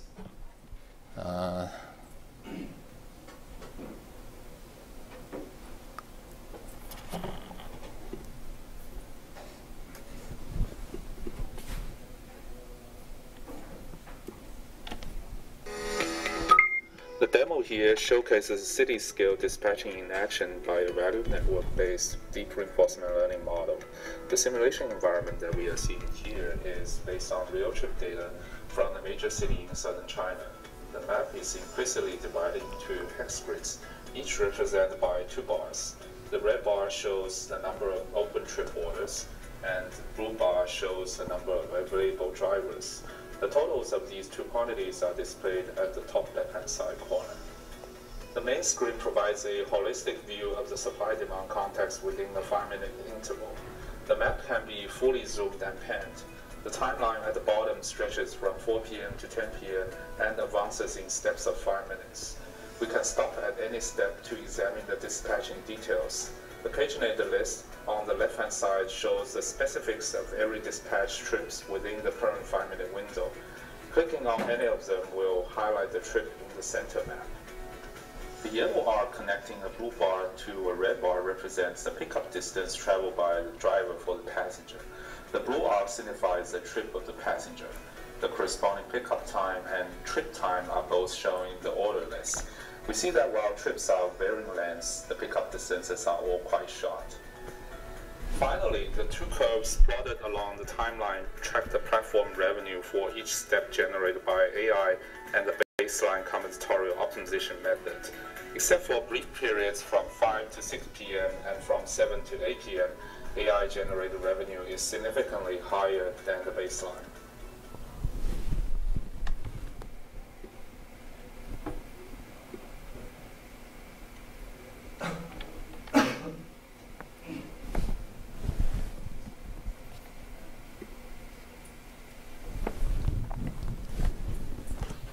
Yeah, so uh, we have uh, talked about uh, order matching. So uh, let's also looking, look at uh, the uh, driver repositioning as well. This is a work using DQN for solving the repositioning problem. the setup is like this. Um, it, it operates in the in the grid world. So you discretize the map into a, into a grids, and and it performs a system-wide repositioning. Uh, but uh, for, for tackling this multi-agent uh, problem, the, this work actually uses the independent uh, driver policy. So similar to uh, to our order matching case, that uh, it also just learns Uh, one uh, driver policy uh, for for each of the driver. So there, there's less coordination. but anyway, they, they have shown that it it it actually uh, it outperforms uh, one of the uh, model-based methods in terms of the unfulfilled requests. so the so the compared baseline is a, a receding horizon, a pretty a pretty classical method. Uh, yeah. So the so the agent is construct, constructed by uh, a CNN-based uh, network. Uh, its input is the driver's status, uh, uh whether it's it's it's a busy or not, and its location, time, and also the projected supply and demand in the in the neighborhood. So that's, that's actually similar uh, to to the order matching case as well. Yeah. And the action is going to a neighboring grid. Uh, reward is the weighted sum of uh, fulfillment uh, minus pickup distance. So, uh, so we, we mentioned that for uh, for doing driver repositioning, the cost is uh, uh, the cost is really the time and gas. So so here it uses the pickup distance to approximate that part of the cost, and subtract that from from the reward. and and it assumes that the drivers um, uh, execute the actions in order, right? Uh, yeah, the, tr the training the training is done uh, within a simulation environment based on the uh, NYC taxi data, uh, which a lot of a lot of people in transportation uh, use, mm, and the training algorithm is double DQN, so pretty pretty standard. Yeah, so this is the this is the uh, overall uh, architecture of the method. Uh, within the agent, you uh, you have a separate module for demand prediction for the supply, for the for the supply as well as the demand, uh, and um, and that together with the other features state features go into go into the the network that learns the the value and, and in return the policy. Uh, and it interacts with the environment, the, the simulation environment to, uh, to get the training, uh, training data. And um, so, so, so far we have seen uh, several works uh, uh, dealing with order matching and dispatching separately. but we can also put them into into the same framework and tackle both. So this is uh, this is a one uh, one attempt from from my group uh, trying to do that, um, and. Um, um, and we go beyond uh, the previous work of just representing the driver feature uh, using local information here. Instead, we use a global uh, representation. So, so the each of the agent it sees everything uh, within the system uh, uh, within that city. Um, so orders are represented by the six-dimensional vectors, start, starting, ending, uh, XY positions, the coordinate positions, uh, price, and, and time waiting. Uh, and drivers also represented by, by a vector of the same size, the, the position, the time to complete the current order, and for repositioning, uh, there's also a there's also a reposition counter. Yeah. So so the x and y, uh, the location variables um, uh, means different things when uh, uh, when uh, when whether the order whether the driver is available or not. So when the driver is serving the order, it's it's the it's the ending location of the order, and um, and when the driving when the driver is available, then it's really the driver's current location uh, for uh, for repositioning purpose.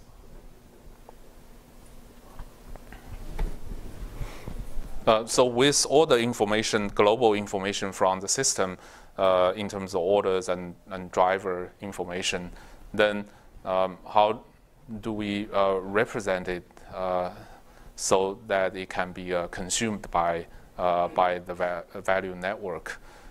so we first we um, we, we embed the uh, order and drivers into, uh, into memory cells uh, represented by the purple and red boxes.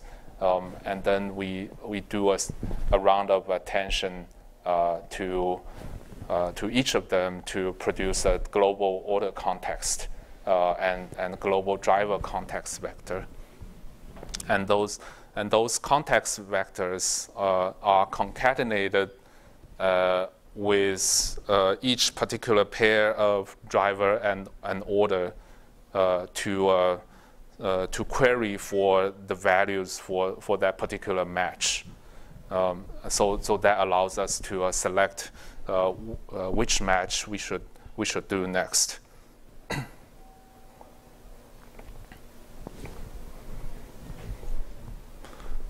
uh, yeah, so uh, so we, we we have two types of uh, Q values. One is uh, for driver order pairs and, and one for a driver reposition pair, but they are they are really in the similar form. Right? and um, yeah, and for, for reposition, uh, you have uh, nine reposition actions uh, uh being the eight, uh, eight neighboring uh, the eight neighboring directions and, and one stationary action. So here it's it's not in the hexagon grid, but it's it's really represented by a square square grids.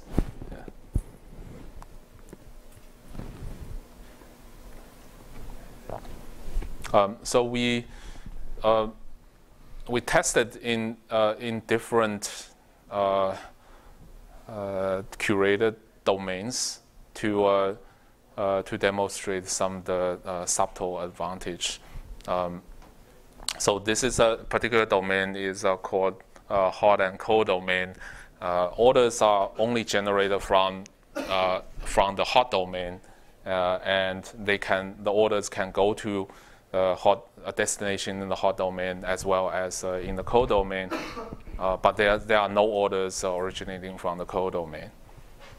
So so here uh, it's really important for uh, for the for the driver agent to learn a policy that allows it to uh, reposition itself back to the hot the, the hot area after it has finished serving the order that leads, leads the driver to the cold area. Um, and this one is called a distributed domain. So uh, the way it works is that uh, there are uh, uh there, there's a there's a group of drivers uh, uh, starting from the center of the of the map, um, and uh, and orders can only appear at the two corner diagonal corners, but which side of the corner will have the orders is is random, is randomly picked by the environment at the at the time of evaluation. So. Uh, so at the starting point, the drivers uh, the drivers don't know where the orders will be, um, um, and um, uh, and the orders can be distributed unevenly at the two at the two diagonal corners. Um, so the so the driver's policy has to be to split themselves uh, uh, at the beginning in the optimal way to uh, uh to fulfill all of the orders, to as many orders as possible. Yeah.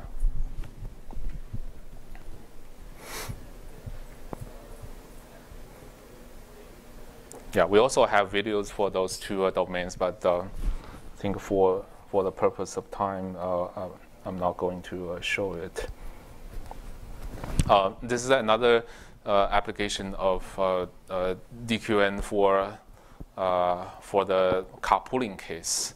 but in, in, in this work, it's not it's not really solving the the whole carpooling problem, but really trying to solve uh, the high-level actions uh, uh, of the of the driver in the in the carpooling business.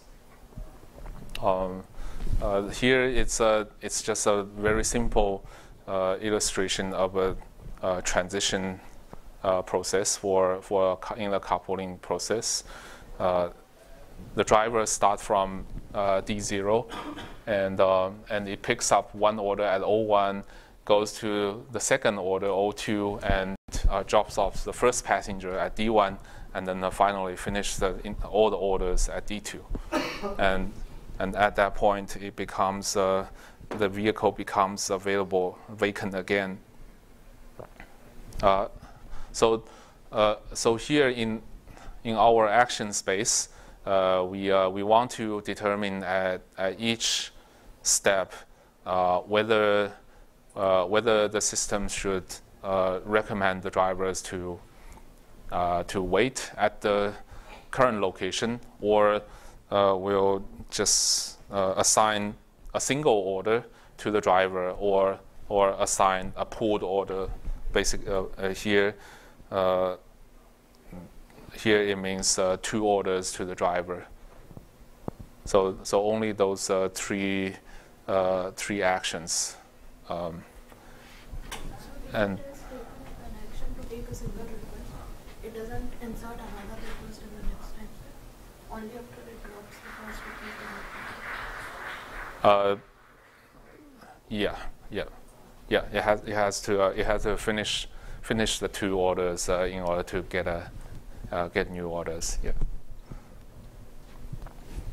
Yeah. So, so the reason why I said uh, it only solves the high level uh, decisions is that there are more granular decisions that has to that has to be made for the trip assignment. For example, uh, when when you decide that the driver should take a pooled order, uh, which which orders should be assigned to the driver. So in this work, we we have left the let those decisions in, uh, into the environment. Uh, and, and those uh, trip assignment decisions are determined by uh, fixed algorithms that tries to uh, minimize detour.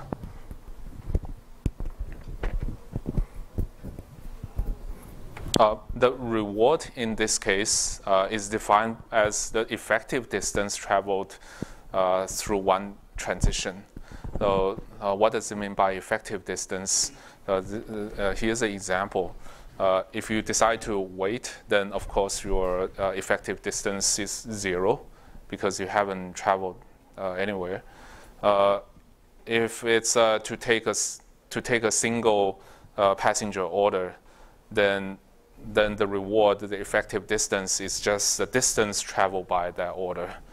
Uh, if it's a carpool order, then the effective distance is the sum of the uh, uh, individual trip distances, not the uh, uh, the final distance traveled by the uh, by the travel driver, but the the original individual distance of the trips.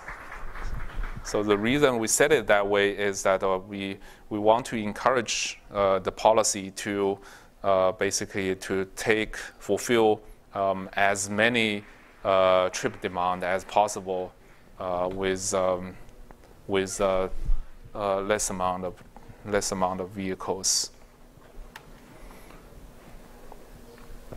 Yeah, so this is to evaluate uh, the policy at, at two areas in the uh, using the NYC taxi data uh, in uptown Manhattan as well as downtown areas. Yeah, we have we have seen that. Uh, DQN has has a better advantage in the uh, uptown area. Uh, for the for the downtown area, it um, it basically it performs similarly to to a fixed policy that always uh, recommends carpool. Uh, we, we think that the reason is that the, in the downtown area, the, the orders are denser. So, uh, so the optimal strategy is really uh, to, uh, to always carpool. Um, now let's also look at uh, some applications in traffic signals control. So this has a different, different flavor from, from order matching and driver dispatching. Uh, uh, we'll consider a single intersection uh, as well as a, a, a traffic lights network. Uh, which can be a single agent or multi-agent depending on how you view it. If you view it as one single system, then it's a single agent, but with a much more uh, complicated action space. Or you can you can see it from uh, from individual traffic light point of view, then it's a multi-agent reinforcement learning. Uh, with, uh, with coordination. Uh, the state space is typically represented by position and, and speed of the vehicles in the lane, um, as well as queue lengths. Um, and, and it can be discretized or uh, or, or continuous. Um, uh, in some works, um, uh, the agent actually takes uh, an image as, a, as an input to represent the state of the intersection. Um, the action space, uh, it, it, could be different in different, uh, uh, in different approaches, but usually it, the actions are the phases of, of the traffic lights or, or the change of phase. So so you don't you don't determine uh, which phase to uh, uh, that the traffic lights should should be at at every at every time step, but really uh, whether you need to change the phase to the to the next uh, configurable phase. Uh, so there are in this single very simple single intersection there are four phases of the traffic lights: the north-south green uh, east-west screen, um, as well as the left and left turning uh, configuration for the lights. Uh, the reward uh, uh, is usually the total uh, throughput at the at the intersection, how many cars that you um, that you can have that goes through the intersection per unit time. Um, and sometimes it's uh, people define it as uh, the delay of the vehicles at the intersection.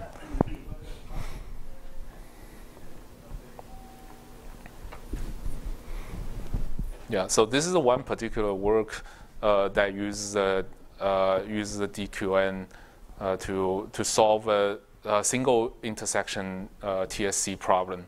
Um, and and it, the learning is done in the simulation in the in the Sumo environment. Uh, Sumo is very commonly used for for this type of applications. Uh, uh, we'll also briefly uh, look at it at, at the at the fourth section. Uh, so the state here is uh, is a lane discretized into cells. So you can think of it as in the matrix form.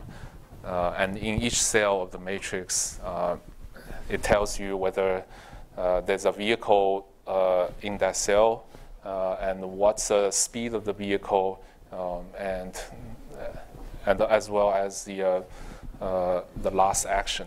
what is the what is the signal configuration of the last time step? And, and they put that into the state space as well. Uh, the the action is uh, uh, is traffic signal configurations, uh, as we as we mentioned just now.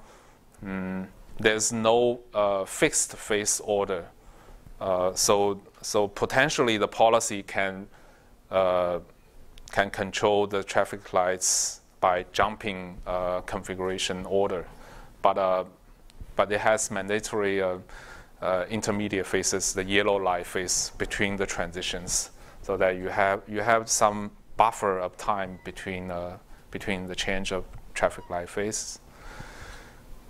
Uh, the reward here is uh, the change in uh, cumulative vehicle delay between between the actions. Yeah, so so it's it's similar to uh, what we have laid out at previous page. Um, how is the uh, network for the for the agent constructed?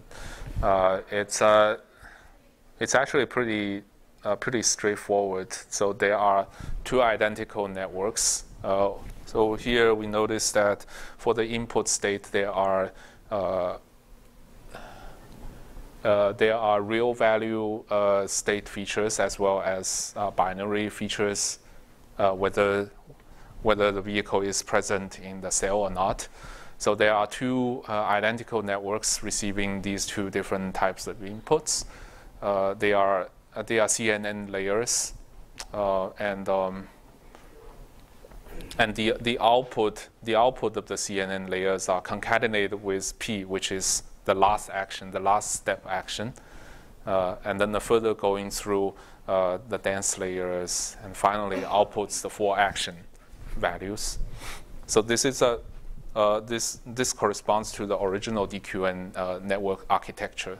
You you have uh, different heads from the network correspond to the different actions, um, and they they experiment with uh, shallow and, and deep version of of the network, uh, and let's see.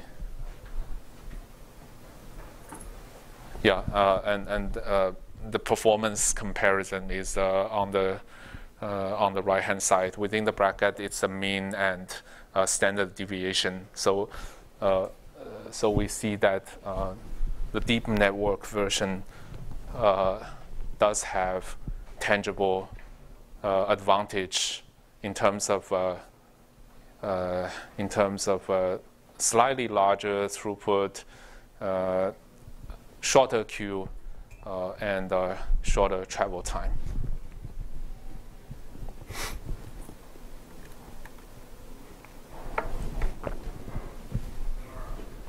Um, let's look at um, uh, another uh, application of DQN uh, in this uh, TSC app problem. So, so this method it has some unique feature so first of all, uh, but it also considers the uh, single uh, intersection traffic lights control. Uh, it, it emphasizes policy usability. So uh, what does it mean by policy usability? If we look at uh, the diagram on the right-hand side, the policy uh, at the bottom, the third diagram, uh, shows an infeasible policy because it, it has change of action too frequent. So uh, it's not practical in the, in the real situation. So, so in the real situation, you have to maintain uh, the configuration of the traffic lights for, for a certain amount of time uh, in order for the, for the traffic to be, uh, to be stable.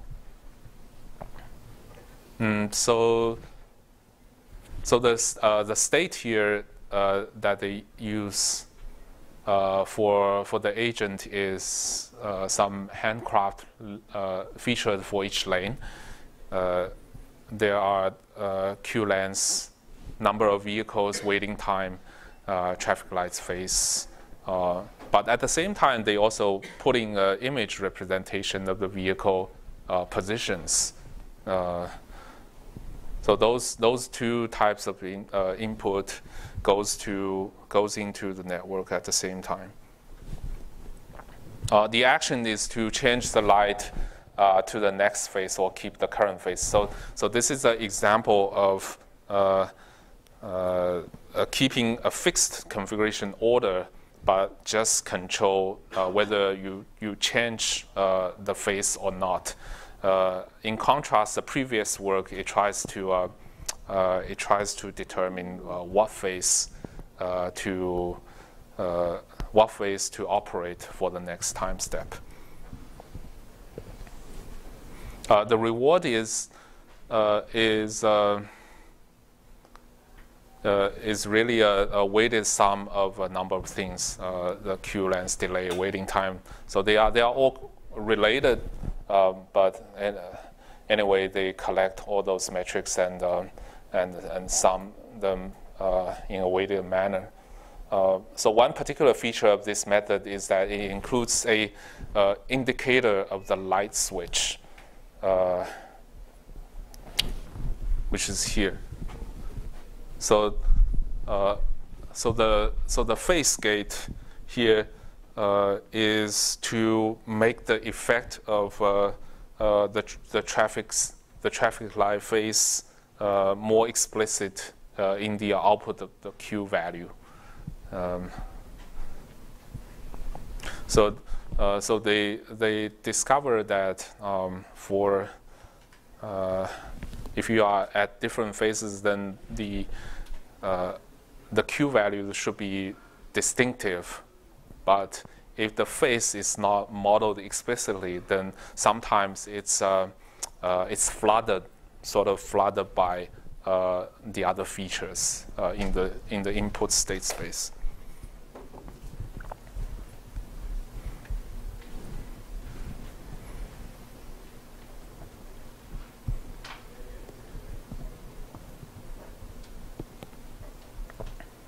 Right. Uh, I yeah, I think we the scheduled coffee break is at 10:30. Um, yeah, so we can come back maybe at uh, 10:55 since uh, right now it's uh, 10:25 and uh, and we'll, we'll continue from there. We'll go on to uh, policy-based uh, reinforcement learning and uh, multi-agent.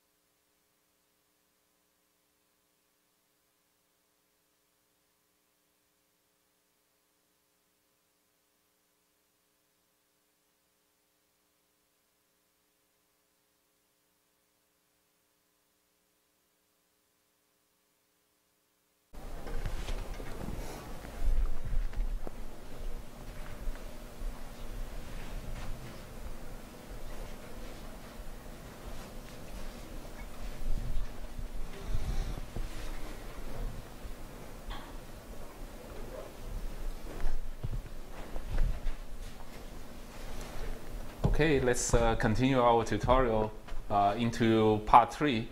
Uh, so in this part, I'm going to uh, talk about policy-based reinforcement learning and, and beyond.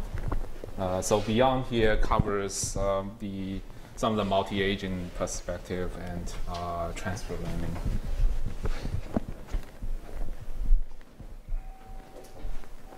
Yeah. So we uh, let's let's recap the optimization problem for uh, MDP. We want to uh, maximize the cumulative reward for for the agent over a, long-term horizon, uh, and um, so so we we can actually uh, parameterize the policy pi with the parameter theta. Um, and then uh, since the uh, cumulative reward function, it's a, it's a function of uh, the policy as well. So then uh, we can uh, treat the problem as a optimization problem with respect to uh, the parameters of the policy. and in that way, then it's possible to do a stochastic gradient ascent because we are, we are maximizing the objective function. So it's a stochastic gradient ascent uh, method to uh, uh, uh, to um, to update the policy towards the optimal. Um, but in order to do so, we have to we have to be able to compute the gradient, which is the gradient of the objective function uh, with respect to the policy parameter. How do we do that? So uh, so fortunately, uh, we have a we have a policy gradient theorem that says um, the the gradient of the objective function uh, with respect to theta, the uh, the parameter of the policy, uh, can be written in the in the analytical form, which is basically you know you sum over uh, sum over the, all the actions uh, for the product of the Q value function and the gradient of the policy with respect to its parameter, uh, and then you uh, uh, uh, basically you you sum over, you take a you take an expectation. The the mu pi of S it's the the distribution of the state under the policy pi. Yeah. So so it's it's really it's really an expectation, the, the gradient of the policy.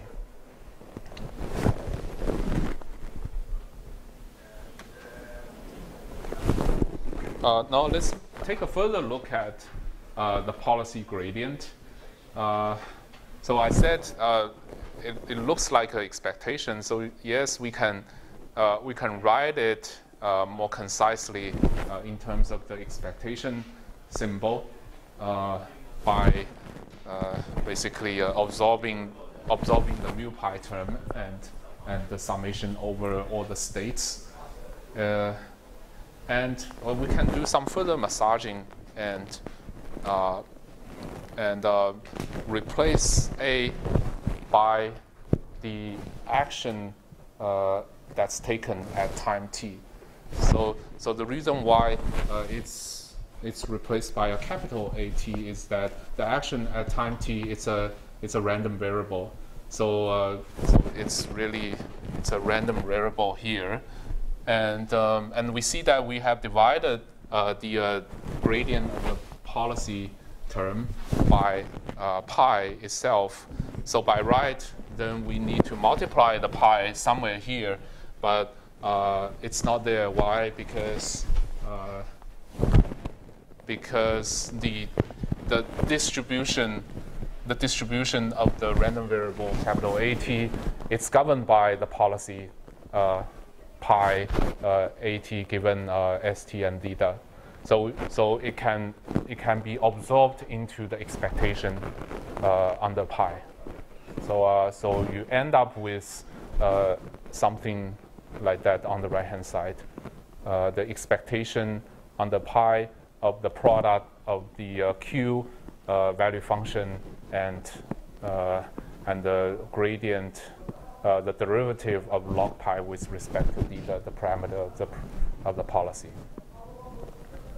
Um, Now, uh, in order to make it a more practical, uh, a more practical term for updating, then uh, we can uh, Uh, we can replace uh, the Q pi, the Q value function uh, with the uh, Monte Carlo sample version.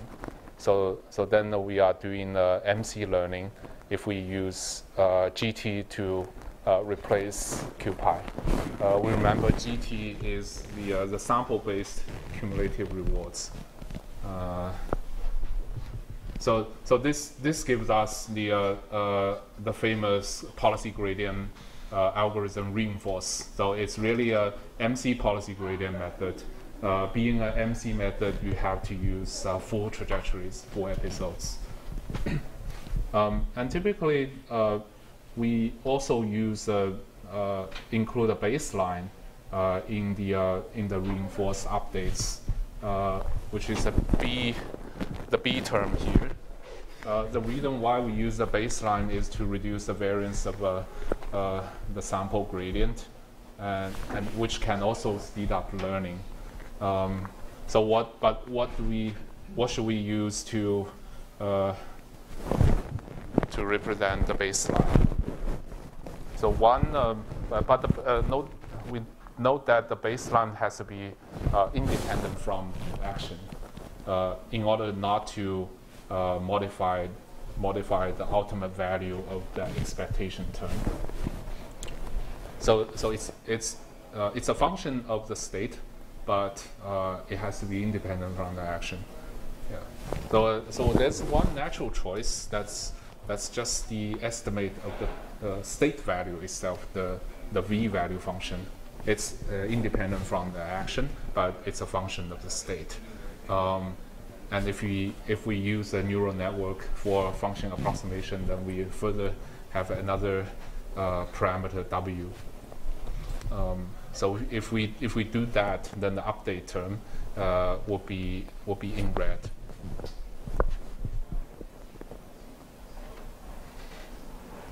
Yeah, and uh, and reinforce. Uh, we see that it's also a, a SGD, the stochastic gradient descent method um, and and it's a uh, it's an MC method, so so it may uh, it may suffer from high variance, uh, uh and that's why uh, that's why we use uh, we need a baseline for mitigation.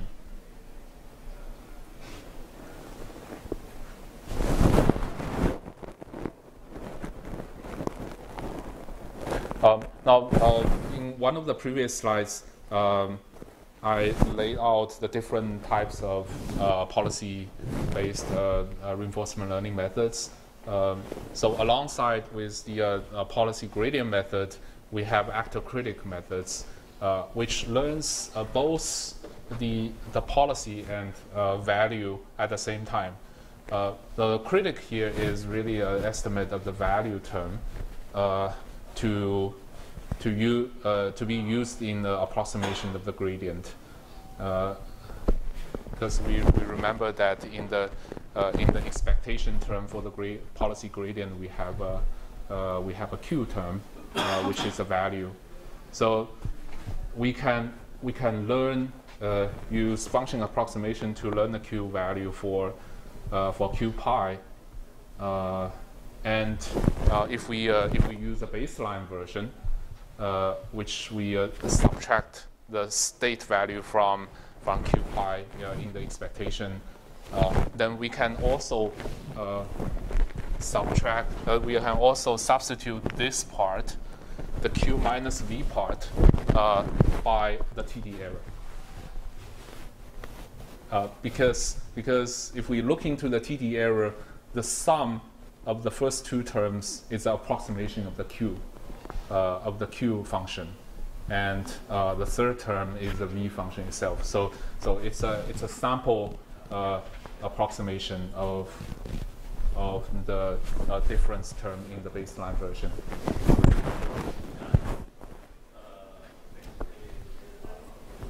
Uh, now, how do we how do we estimate the value function? Uh, assuming we use a linear function approximation then our Q function can be written as the feature vector, the inner product of the feature vector and your parameter vector. So, uh, so we can write down a pretty simple uh, linear TD0 update uh, uh, for, uh, for minimizing the least squares objective. Right.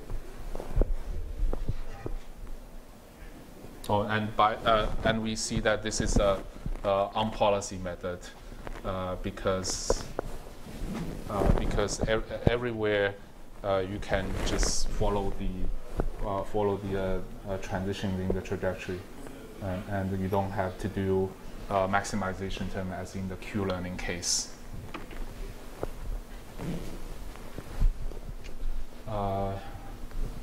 yeah. So uh, we talked about how uh, we can approximate uh, the, uh, the difference term in the expectation for the policy gradient. Um, and, and we, uh, if we record the way uh, we, we construct the edge weights in the order matching method, I mentioned that we use the uh, advantage to compute the edge weights, and that's exactly uh, the, the thing that we are going to talk about here.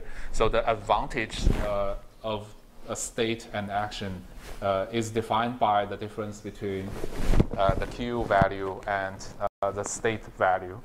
So, so you can think of it as the, the relative uh, that's why it's called advantage. It's a, it's a relative uh, uh, increase in the value by taking that particular action as, as versus to the average case because the, the state value function it's it, it marginalized over the action, so it's, it's really an average case. Right? So, so that's why it's called value fun- uh, the advantage function. Um, and, then we see that it's in a nice form to be uh, readily substitute into the difference term in the expectation. Uh, so, so you can actually you can actually learn a uh, advantage uh, to uh, uh, to construct your policy gradient, and that gives you the advantage actor critic's so-called A2C. Yeah. So in this case, then our critic is the critic's job is to learn the advantage function. You can there are different ways to uh, learn the advantage, you can uh, uh, maintain approximation to both Q and V, updating using temporal difference. and yeah, if you do that, then that that becomes the TDAC. Uh, of course, you can you can use uh, the n-step version, uh, and um, yeah, and, in this case, the the state value is also updated using um, uh, using TD learning. Uh, so so as a recap, um, for for policy gradient methods, uh, we can learn a Q value function without baseline to construct policy gradient. Uh, we can learn the state value V value function and then the computer TD error uh, to uh, to put into the expectation term for the for the policy gradient, uh, we can we can also learn the advantage uh, to uh, to get the A2C method.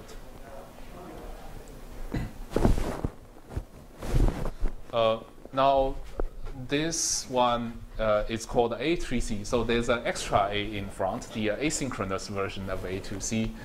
It it uses uh, deep neural networks again, deep neural networks to for function approximation of the policy and value, the pi and v. Uh, it um, yeah, it uses the forward view of n-step uh, bootstrap approximation for the advantage. So it's it's uh, the n-step would be uh, something like uh, here. you roll out n steps of uh, transitions in the trajectory and uh, use the realized uh, reward to compute the sample version of the advantage. and and it, since it's an asynchronous version of, uh, of the A2C method, uh, it's in, the implementation of it uh, is is mul multi-thread.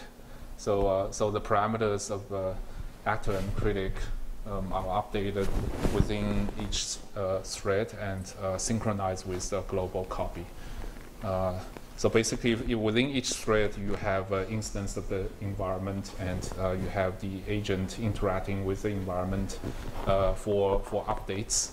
but at the same time, you also synchronize with the global copy through a to uh, after completing an episode. Yeah. Uh, so, so we see that uh, this kind of implementation it can be done uh, on the on a single machine with multiple cores, whereas for for the original A2C or DQN method, then typically people have to use GPU cards. so it's uh, it's a comparison of uh, using using a GPU uh, for DQN and uh, for uh, one-step Q, one-step SARSA, different variants of the Q learning and SARSA, uh, and then running A3C on a on a multi-core CPU machine.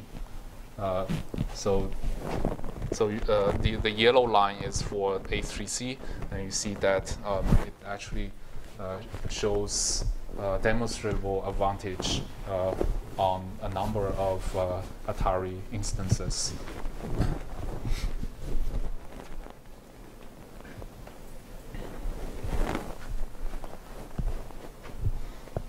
Um, we, um, so when we were talking about policy, uh, we said that uh, there are uh, deterministic policy as well as stochastic policy. We we have covered uh, stochastic policy. policy. Uh, for deterministic policy, uh, there's um, there's a there's a corresponding version for the policy gradient theorem. So so for deterministic policy, you can also write down the the analytical form for computing the policy gradient as well.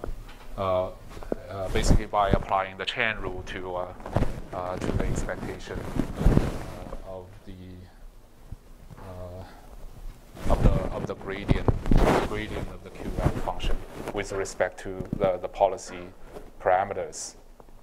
Uh, now, uh, in this case, how do we uh, update the policy? Um, actually, we can use the same kind of idea from uh, DQN, uh, uh, specifically using experience, re experience replay buffer and the target Q network. we have talked about why we have to use use those uh, two features. Uh, one is to uh, break the correlation between the transition, training transition experience, and the other one, the target Q network, is is to stabilize training. Right.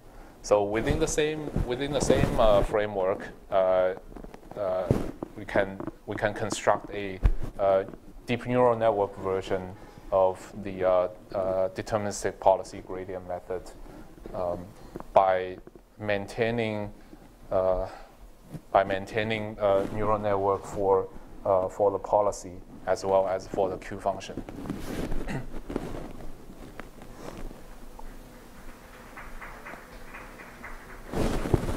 Uh, so let's look at uh, several applications in uh, road planning. Uh, so there are, there are two pieces of work that I'm, that I'm going to talk about. One is uh, on using DRL for path planning and, and mapping, and the other one is, is for navigation under photorealistic simulation environment.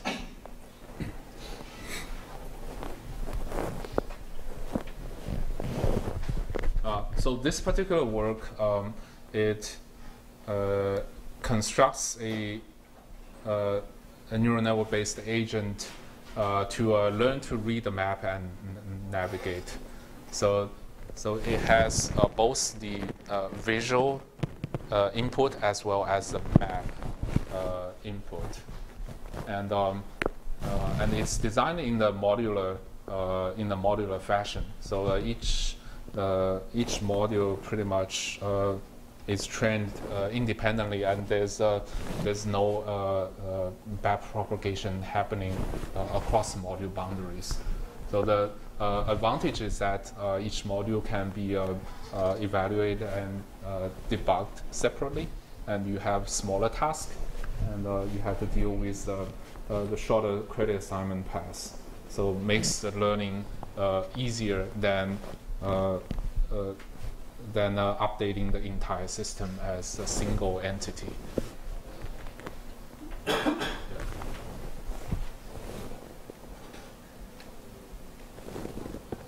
Uh, so some uh, explanation to uh, to the architecture here.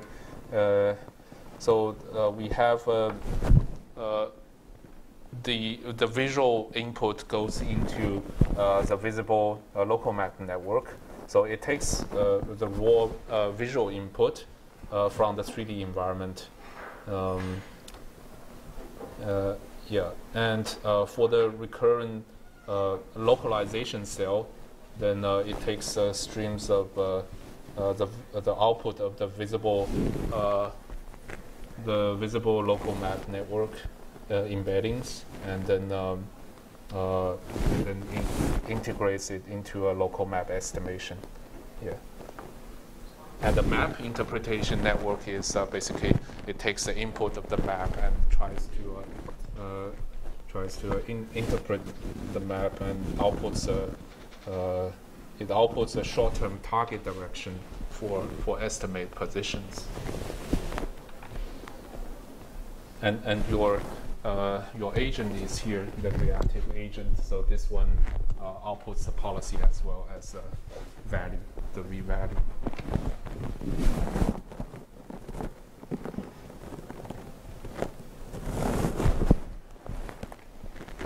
Yeah, so so it consists of uh, different modules. So uh, uh, the the training uh, partially on policy and off policy for the different modules, uh, and. Um, and you also maintain the replay buffer.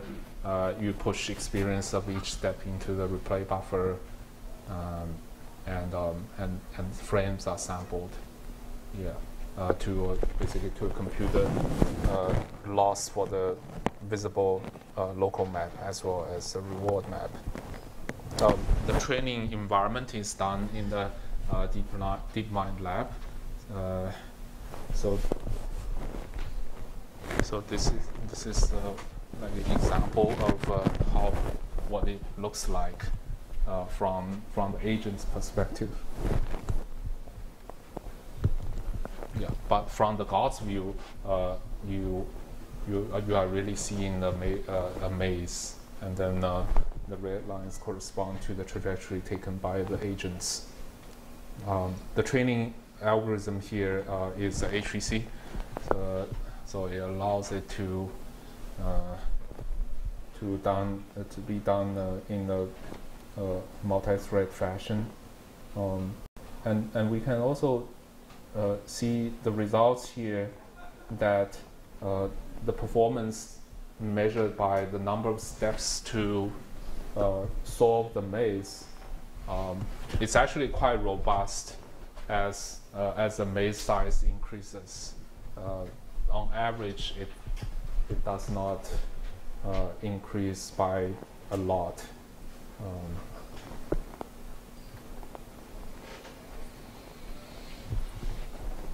uh, this is another work um, for navigation uh, without a map. Uh, and and the environment here is uh, uh, is a is a Google Street View environment. at each node, you have a, a panoramic images uh, representing what you can see uh, as if as if the agent was standing at that at that part of the road. Yeah. Um, and, the, and the space of the nodes are uh, 10 meters, uh, and the environment covers about 5 kilometers. Uh, input to the agent, uh, it's the both the the image that the agent sees uh, in the environment as well as uh, uh, the goal landmarks. So the, there are there are several uh, goals that's distributed uh, around the map, um, and it's represented by uh, the distances of the agent, the distance of the agent to each of the landmark, and, and that forms part of the input to the agent. Uh, the agent takes a discrete set of actions, uh, and um, and it starts from the random lo uh, start location, uh, and each each episode has uh, 1,000 steps. Um, so uh, I want to talk a little bit about the architecture of the network over there. Uh, it employs a dual pathway uh, network. Uh, we'll see later that this kind this kind of uh, architecture actually facilitates very well uh, transfer learning because here uh, for each city you have a you have a different environment set up and um, and you don't want to uh, learn from scratch for each of the new city that you encounter. So you want to you want to learn a general network that can be adapted to uh, a different environment very quickly. Uh, so that's that's why they uh, they come up with uh, uh, this kind of a dual pathway. Um, one path is um, uh, so, so the, the policy LSTM it goes it goes here. You have the state as input goes to the uh, LSTM layers and outputs the policy and uh, value. And uh, this is a goal vector, um, and it actually it has it has an output that that tries to perform an auxiliary prediction task that is uh, to predict the agent's heading angle uh, for the uh, which which is theta.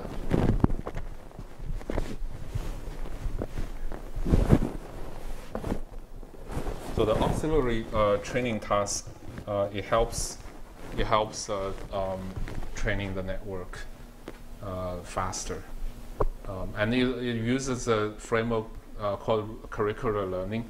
Uh, that's very intuitive, from the name suggests. Uh, basically, it gradually, gradually increases the complexity of the learning task uh, by choosing uh, more and more difficult examples.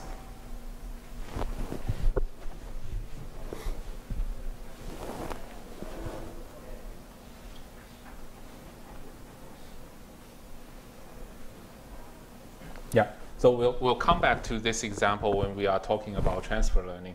So here, uh, uh, this, this architecture setup is for learning uh, the navigation policy within, uh, within one city. Uh, when we are facing multiple city scenario, then uh, this architecture is very, is very convenient to expand into those situations. Um, let's uh, uh, switch into a different type of application, uh, autonomous driving control.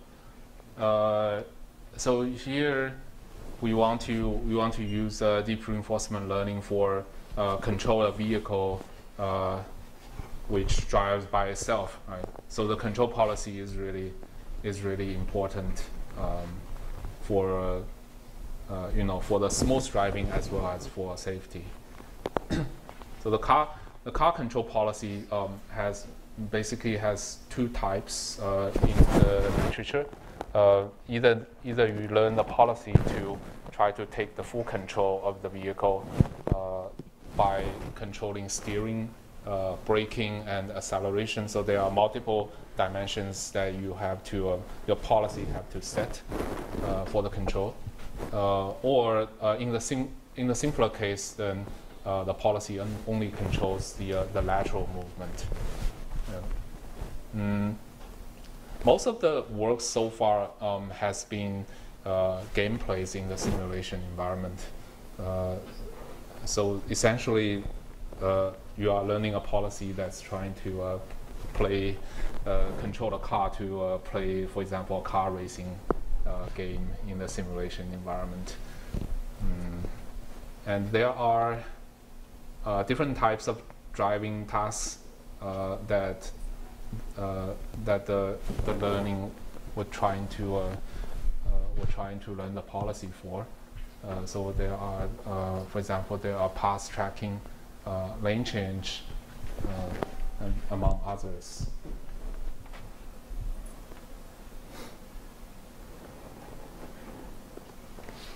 So, uh, so this is uh, this is the one work that's uh, using uh, DDPG, the deep deterministic policy gradient, uh, to uh, to learn a policy for full control.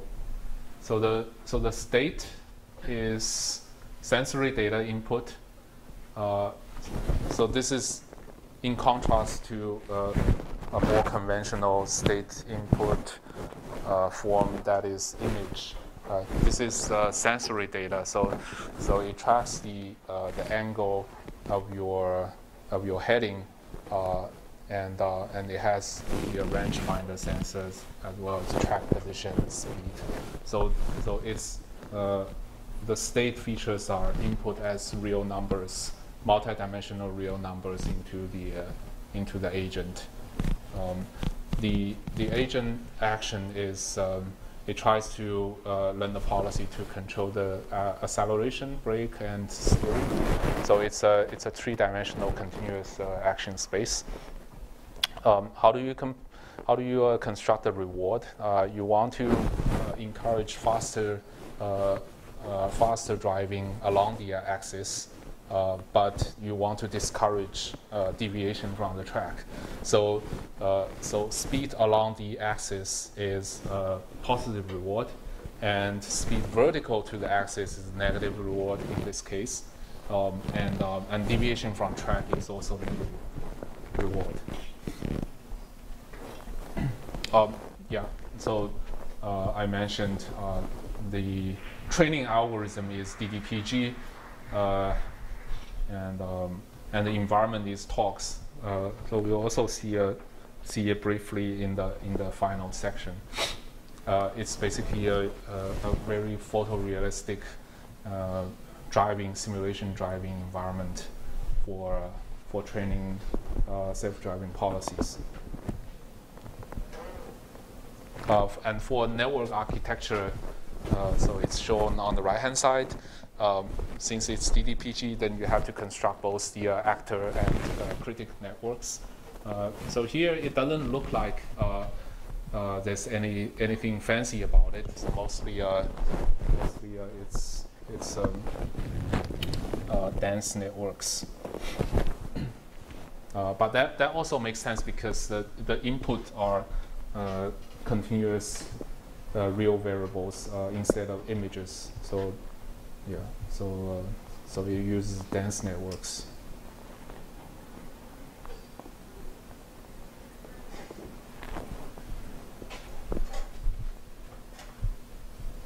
Uh, this is this is uh, uh, another another work that employs uh, DDPG uh, in in the game playing scenario for controlling a car.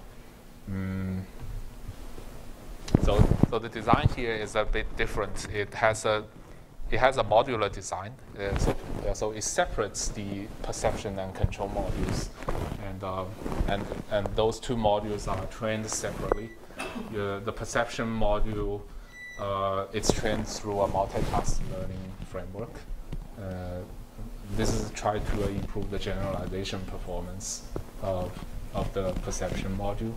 Uh, it has a driver view image as input, um, and um, uh, and the multiple tasks here in this framework is to uh, predict uh, different track features.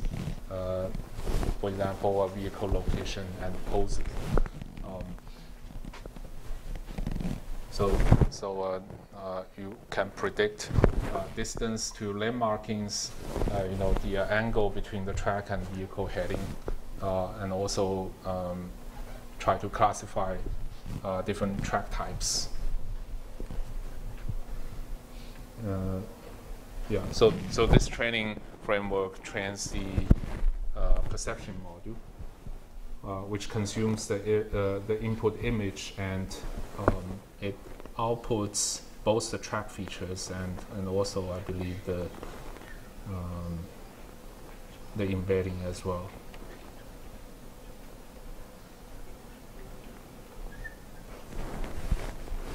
Uh, now for the control module, uh, different from uh, the previous work, uh, it only controls the uh, lateral movement.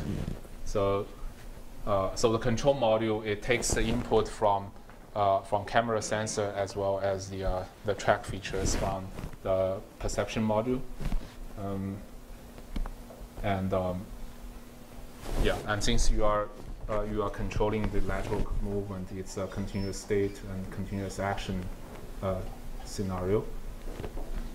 And, uh, and the agent is trying to minimize the, uh, the yaw angle uh, to keep the vehicle on track. So the yaw angle is defined that way. The uh, yeah, I believe it's a, it's a theta. Yeah, so so it's an angle between the car heading and, and the horizontal line. Um, and and the agent network that the that this works uses is very uh, similar to DDPG. Uh, you have you have your input, uh, the uh, track features and image uh, here, and then uh, you have two trains of network blocks, or one one for one for the policy and the other one for the for the Q value.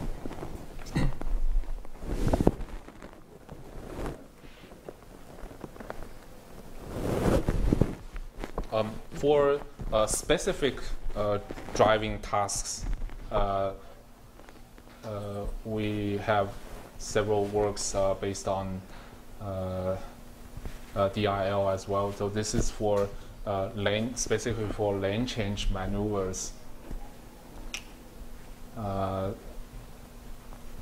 so, so the controllers, the controllers here consist of three uh, three modules, and the reinforcement learning it, it just controls the lateral uh, the lateral component of the control.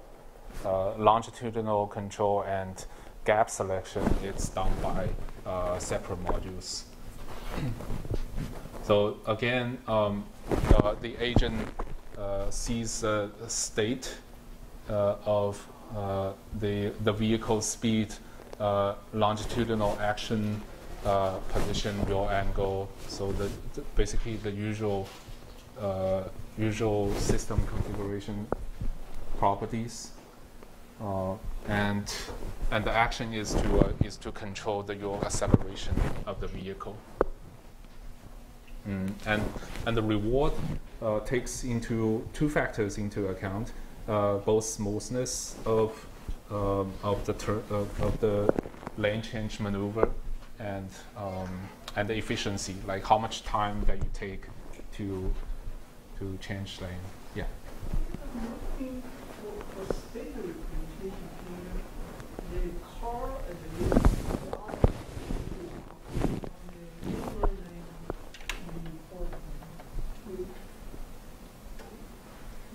based on your description, mm. seems you don't consider that.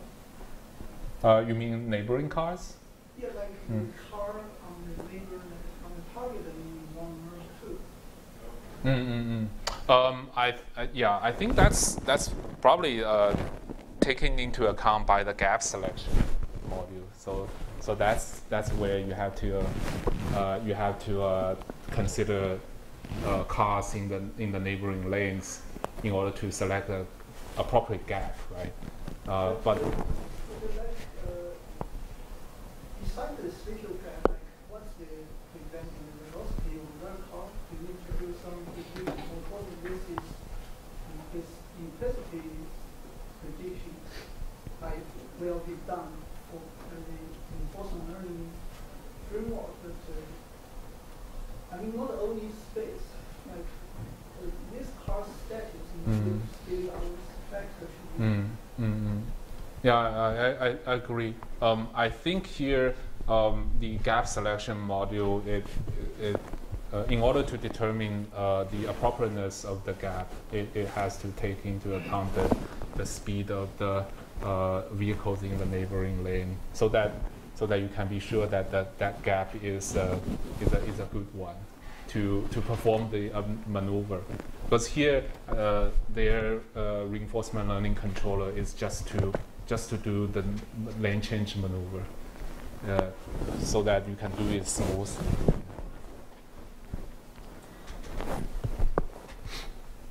Um, yeah, they, they construct the Q function uh, in a uh, in a specific form, uh, actually quadratic in action. This is uh, uh, to make it such that uh, the, the greedy action happens to have a closed form solution.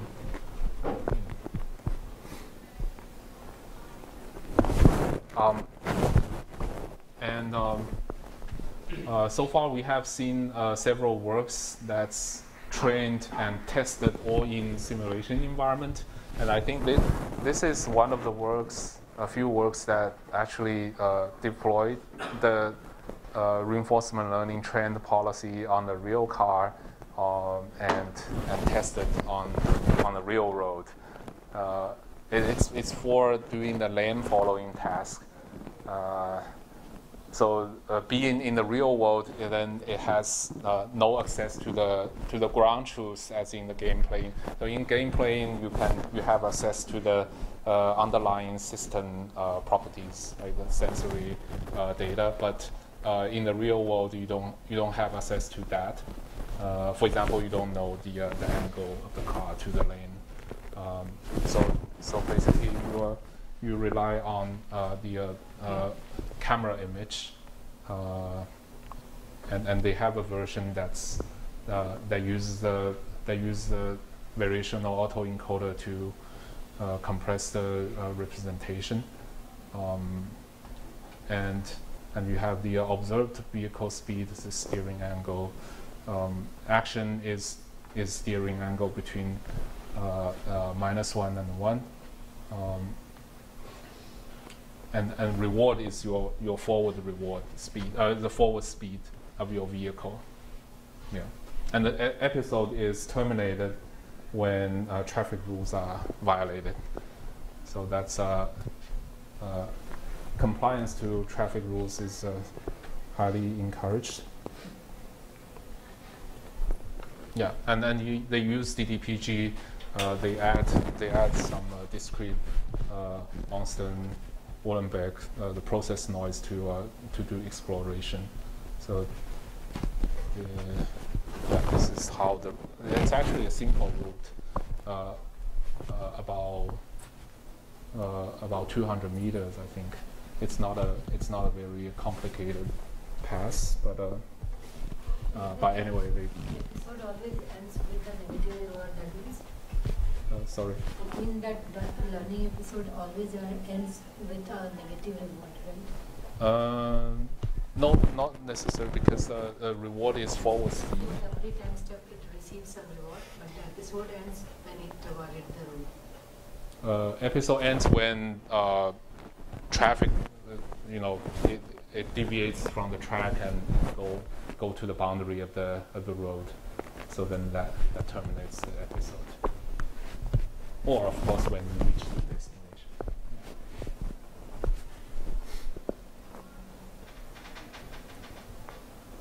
Yeah.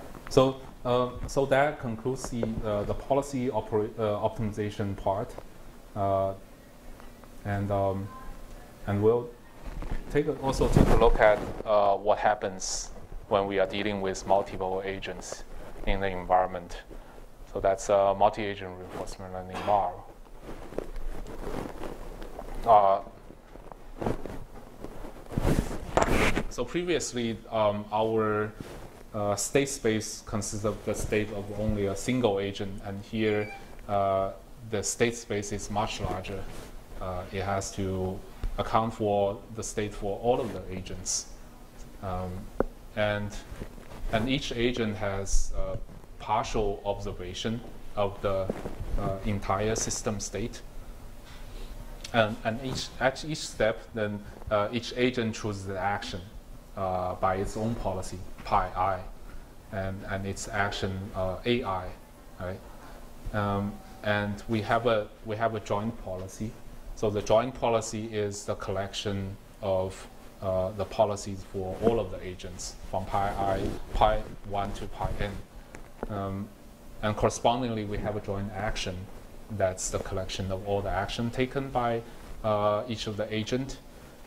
Um, and, and then the next state, uh, now it's uh, determined by uh, the transition probability that um, uh, that that's depend on the state of the system and uh, the joint action taken by each of the agent, and that gives you the distribution on the next state.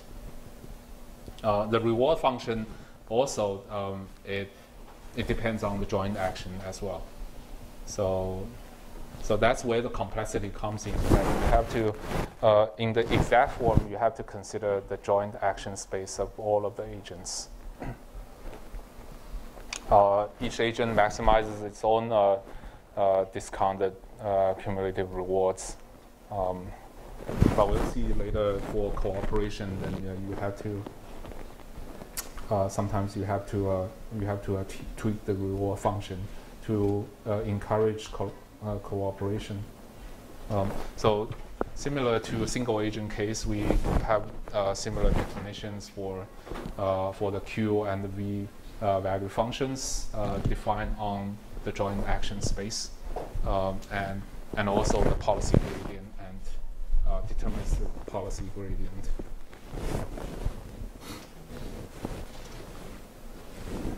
Um, now for applications in um, uh, in transportation, uh, the problems are usually uh, cooperative. Um, for example, for uh, uh, in our case for order matching, then we want the actually want the agents to co cooperate each other to, in order to maximize a a collective objective.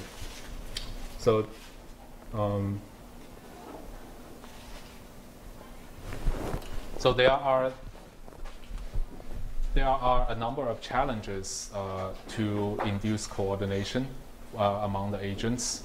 Uh, so first of all, you know, your policy has to know each other's agent states, or, or you have to know the global state of, of, uh, of all the agents. Um, and you need to have visibility to the joint policy as well. You need to know um, what the other agents' action, what they are doing. Um, because, uh, uh, of course, for, for a simple uh, for a simple solution to the multi-agent environment, you can independently learn a policy for each uh, for each agent. But in that case, then uh, if you disregard uh, the action from the other agents, then you are essentially facing a non-stationary environment because the other's policy might be changing. Um, so, so your environment is not is not stationary, and that that poses a, a problem for uh, for learning a, a, policy for the current agent. Yeah. Um, so there are there are a number of uh, uh, you know different measures to uh, to induce coordination. Um, so uh, in terms of state, uh, uh, there are works trying to augment the, the agent observation to basically to include the other agent's state information. or for actions, then you do you do the training in the central manner, um, so that so that you, can share the training experiences from among the agents, um, and um, and you can also approximate or, or infer the policies from other agents as well. There are some representative works. Um, uh, we'll, we'll look into uh, the mean field uh, method in particular.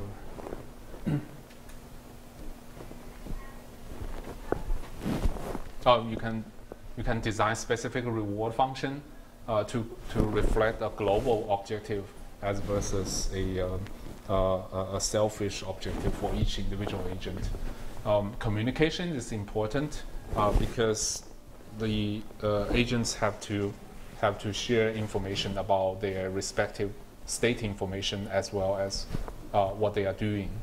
Uh, so, um, so there are works that uh, include communication channels between agents, uh, have messages passed around.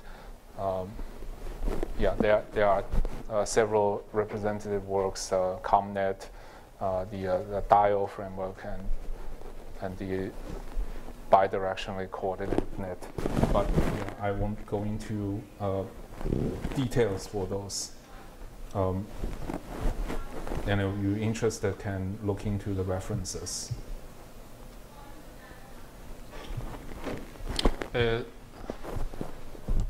yeah, so uh, so for coordination uh, among the agents, there's a uh, particular method that's that have been uh, used quite a lot uh, for applications in uh, traffic lights control. So in this method, we construct a coordination graph that describes the dependencies between between the agents. So if you yeah, if you have dependency between two agents, there's a there's an edge between uh, those two nodes. Um, um, and and for solving uh, the optimal joint action, uh, then it employs a, a so-called max plus algorithm. Uh, what it does is essentially to uh, iteratively to uh, uh, send a locally optimized message uh, between the connected nodes. Uh, so here, uh, the uh, the QIJ is is a pairwise pairwise value function between the agent i and j, and and this this whole update, the mu ij, basically approximates uh, the max maximal value from uh, the maximal value that agent I can achieve for uh, each of the action that agent J can execute. Uh, so then it can derive the uh, uh, the optimal action for for agent I, uh, and um, and it, it, converges to the optimal action in infinite iterations. Yeah but theoretically only for a tree structure uh, coordination graph. But empirically, uh, people have seen that it works for graphs that contain cycles as well. Uh, so this is a, uh, one of the first work uh, that considers traffic lights control uh, within, a, within a network for multiple intersections. Uh, but it, it uh, employs a, simple, uh, a, quite stylized and simplistic uh, car behavior model, um, and um, and also discretize the lengths and times. Um, so, so it employs a car-based value function. What does it mean? Uh, it means that um, the the value function it it tries to compute the total uh, discounted expected wait time uh, for each car uh, in the system before reaching the destination. So, so your reward is really the uh, the uh, the wait time for the for the car, the system.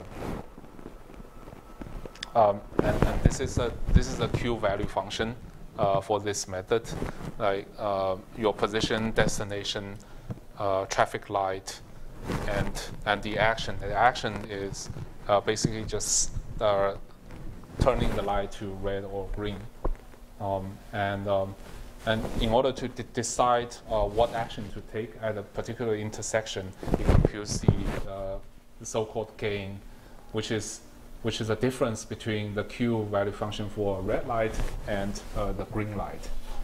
Yeah, and um, and for a particular intersection, a junction, then you uh, you sum up the games for all the cards at a, at a node, um, and then selects a a action that maximizes this sum of uh, sum of values.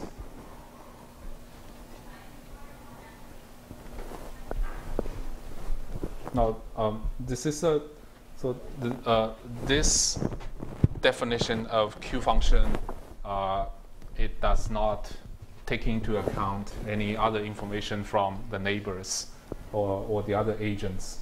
So, uh, so uh, it it develops gradually uh, several methods that uh, takes more and more uh, information uh, among the among the neighbors to in order to induce coordination. So so you can take partial information sharing, uh, which comes in the form of the number of cars uh, waiting at the next possible traffic lights uh, in order to uh, in order to compute the transition probability of the of the first car. So so what it does is uh, in the transition probability, it it puts in the extra uh, input of the number of cars waiting at the next at next traffic light. So this gives you uh, some implicit information about uh, the traffic condition of, of the neighbor, and uh, and and taking to that into consideration uh, when you are when you are computing the transition probability. Um, and going to going to uh, the extreme is to uh, do global knowledge sharing. So so then it uses the global information to compute the wait times for all of the cars. Right.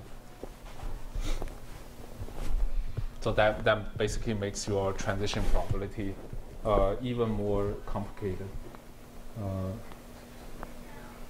so that, that's one way of uh, inducing coordination in a, a multi-agent system. Uh, this is to uh, modify your transition probability function uh, to take into account extra information from the neighbors. Uh, and um, and this this work takes in uh, takes a different approach for for coordination. Uh, so instead of modifying the uh, transition probability function, it, it uh, uses the uh, the max plus algorithm together with the uh, coordination graph that uh, that I mentioned just now. Um, and for for a traffic light system, it's actually uh, quite natural to construct a uh, coordination graph because uh, uh, your road network will basically just give you the structure of the network. Any two intersections that are connected by a road is connected by an edge in a coordination graph. Um, and and then and then you can uh, you can compute uh, the necessary quantities, that the pairwise uh, Q value functions uh, uh, for use in the uh, the max plus algorithm.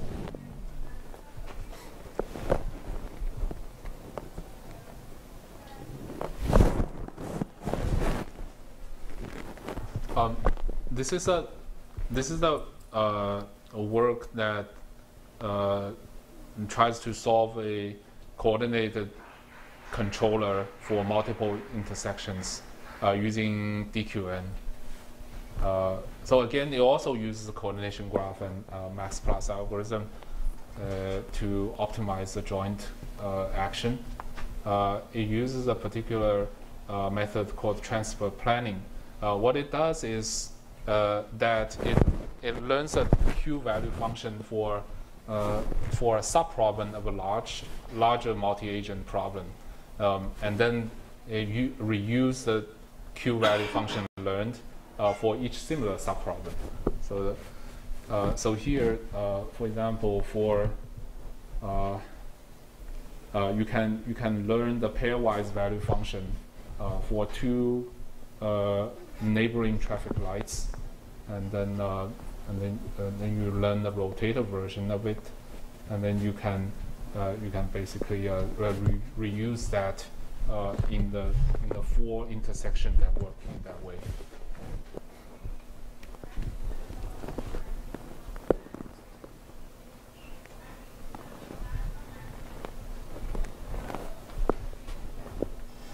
Um, we have seen that uh, for tackling multi-agent uh, reinforcement learning, uh, one big challenge is the number of agents in the system.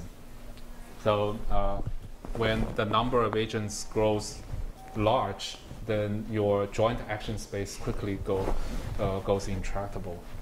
Uh, so that's why it's, it's hard to learn a joint value function exactly in that situation.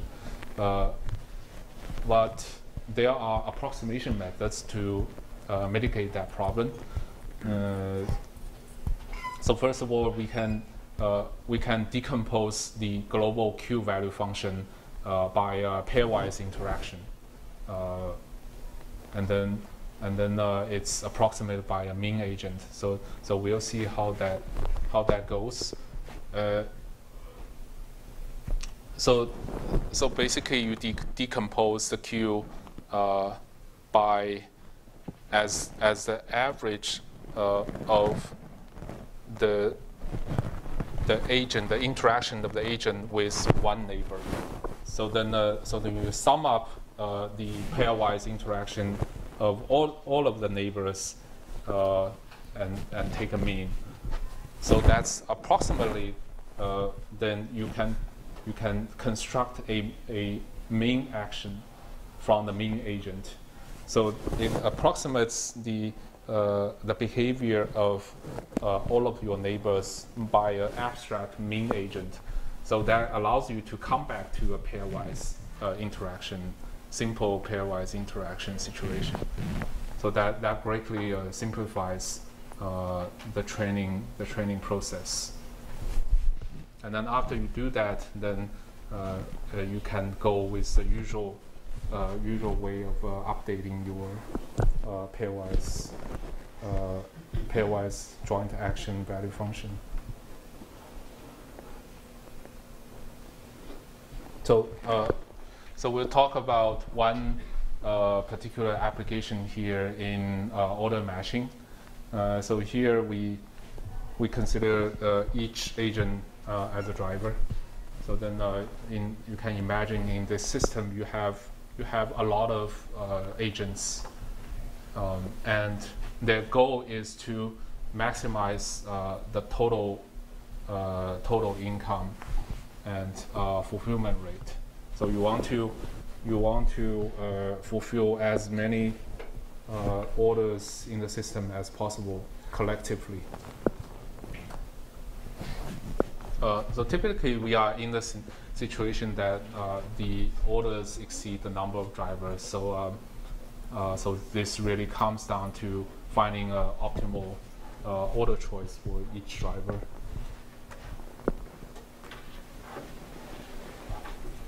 Um, and uh, we uh, proposed a multi-agent RL uh, framework here in the centralized training and decentralized execution manner.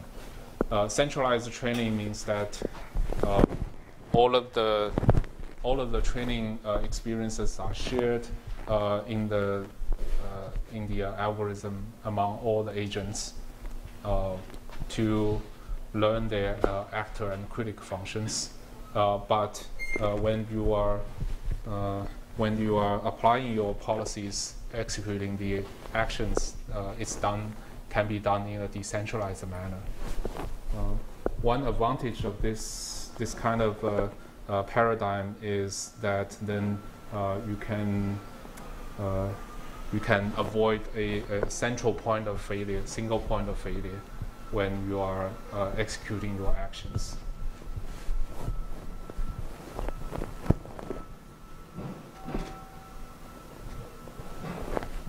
So uh, one challenge here is that uh, the population size is uh, changing. Um, so at each decision point, uh, uh, what the system actually sees is all the drivers who are online, who have been turned on their app, and um, and uh, set their uh, uh, status to be avail available to accept orders. Um, and that number changes from time to time, so the population size is changing. Uh, yeah. And your action set is also changing uh, because uh, apparently you have a different set of orders at different times. So, so the so the set of possible actions that the agents can execute uh, is also different from time to time. Uh, so in order to tackle those two problems, uh, the mean field part uh, would solve the changing population size problem because uh, you represent your neighbors by a mean agent. So that's a fixed number of uh, agent. It becomes it becomes a pairwise uh, situation. Um, and uh, to tackle the variable action set problem, uh, the way that we uh, that we derive the policy after we learn the value is that um, we we learn basically we learn the Q value function uh, for a, each pair of uh, order and uh, and driver, and then um, within each decision time interval, for all of the possible orders and available drivers, then you can you can apply that value function to query, basically query each possible pair, uh, and then select the uh, uh, the best action using a Boltzmann machine.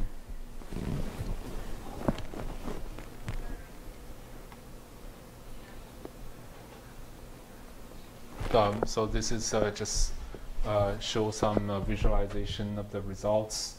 Uh, I think,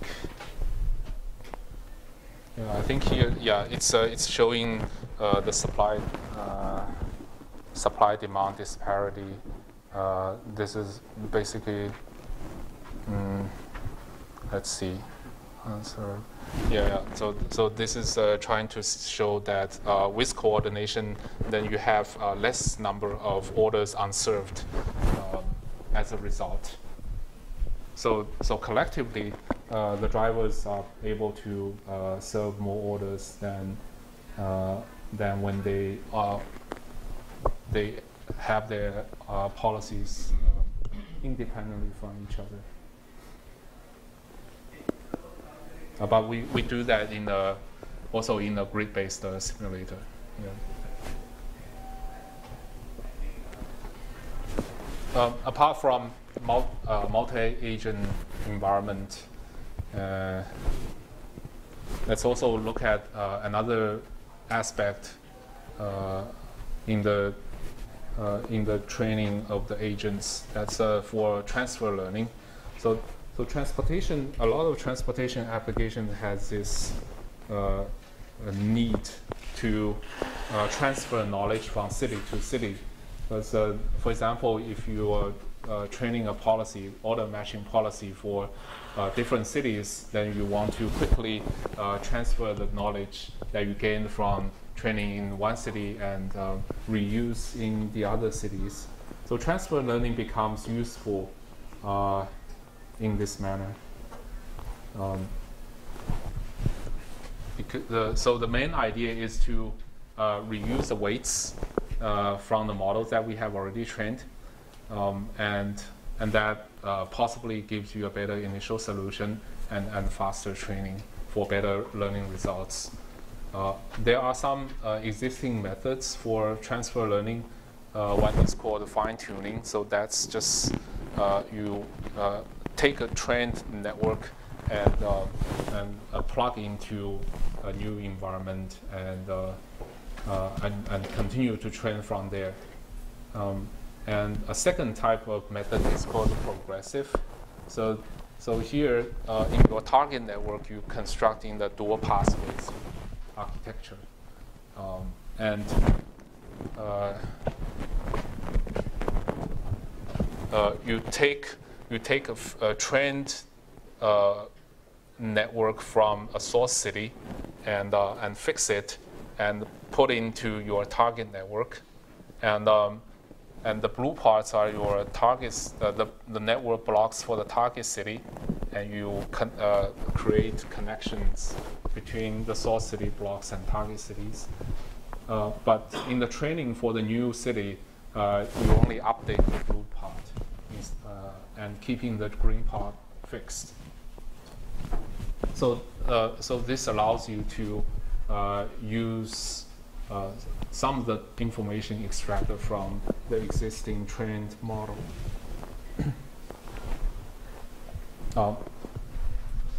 So this is a, a recap of um, our uh, DQN method.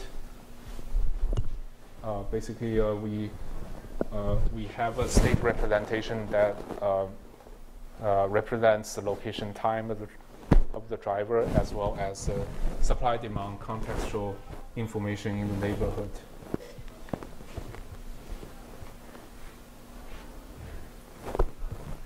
And um, so we take an approach that's similar to the progressive uh, transfer learning architecture. Uh, so specifically, we design uh, the architecture of the network for the source city uh, in the dual pathway uh, architecture to allow easy transfer. So in this way, uh, since your original network has two trains of blocks, then um, when you are doing transfer, you just take the corresponding part and plug into uh, the network for the target city. Uh, but uh, we have to separate uh, the source, uh, separate the input uh, state features into two groups. So one is for one is for those state features that are transferable. basically, they are um, general across the cities. And the other group is for like city-specific features. Uh, for example, the, uh, the location of the drivers. So uh, the, the locations are very specific to uh, specific cities. And the general uh, features that are transferable are like uh, number of idle drivers, number of orders created among the neighborhood, average pickup time. So they are they are generic uh, across cities and they are transferable. So they go into uh, they go into the F part of the uh, input.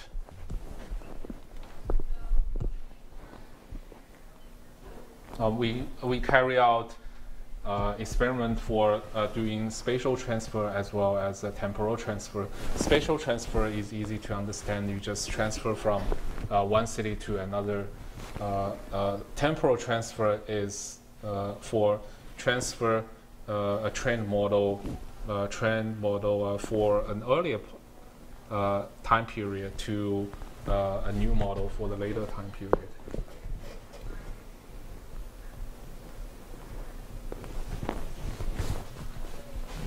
Yeah, so uh, we have seen that uh, in in some cases, uh, transfer learning provides a better uh, initial solution.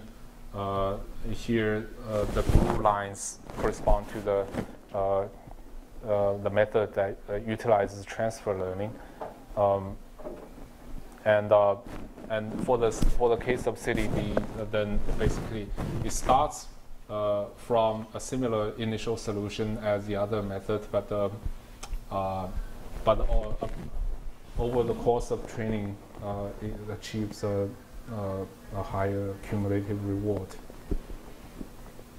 Um, and we have seen similar things happening for uh, temporal transfer uh, cases as well.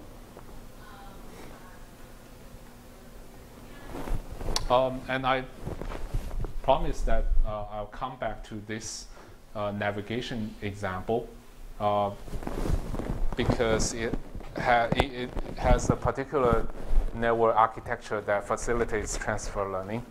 Uh, so, so this task is to uh, navigate the agent uh, within a city uh, through the Google Street View environment.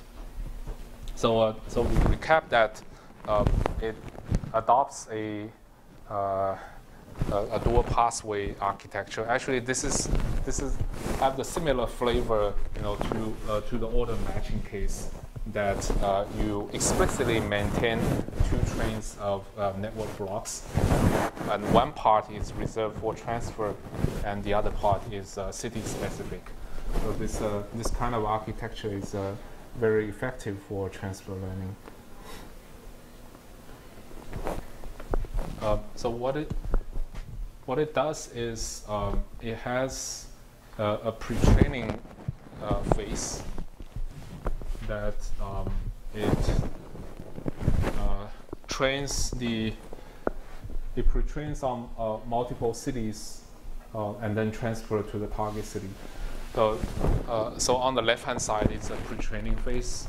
Uh, you augment the network architecture uh, by similar uh, recurrent blocks corresponding to different cities. Uh, and then you train the network on, uh, on different cities so that your policy uh, LSTM part becomes general enough to, to be able to uh, uh, perform in a new city. That's, that's the purpose of the pre-training part uh, by training on multiple cities. Um, and, and then um, uh, when you are doing the transfer learning, uh, then you just uh, you just fix everything else uh, expect, except the uh, the policy LSTM part for the for the target city, and continue training from there.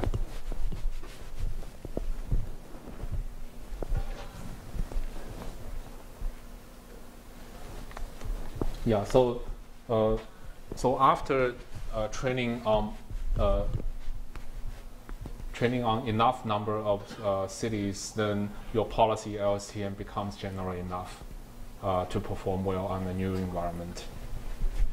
Uh, I think here the yeah this this green line correspond to the result from transfer learning. Uh, uh, y uh, x-axis is number of city in the in the agent, and um, and the y-axis is the the goal rewards in the environment. Uh, so overall, the trans the transfer learning method uh, achieves the best result.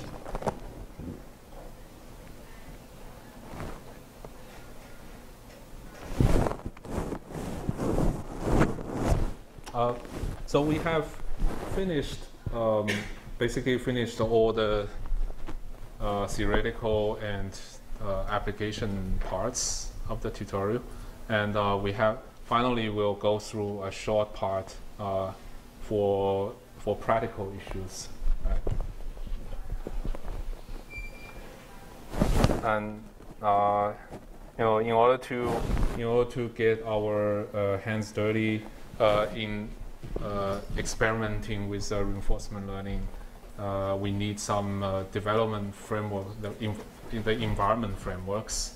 Uh, so, there are common frameworks like um, the uh, OpenAI Gym environment, um, and uh, if we want to uh, train our agents in the Atari for Atari games, then uh, there's also a specific the arcade game, arcade learning environment for uh, the Atari 2600 games. Um, and for robotic tasks, uh, we have MuJoCo um, that provides a physics engine for the for the robotic robotics tasks.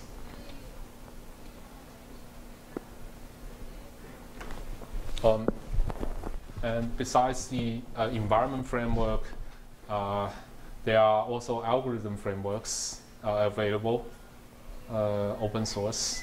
So, so we have uh, OpenAI baselines. Um, you can find most of the uh, policy-based and uh, AC methods in there. Uh, yeah, also has some uh, more recent uh, works like the uh, gen uh, the uh, generative adversarial imitation learning uh, and the hindsight uh, experience replay. Mm. And, Keras RL is a, is a pretty handy tool to use as well because uh, it's based on uh, Keras, um, the higher level uh, neural network abstraction. And, and it provides um, uh, common uh, DRL methods like DQN, SARSA, DDPG, so you can find all of them there.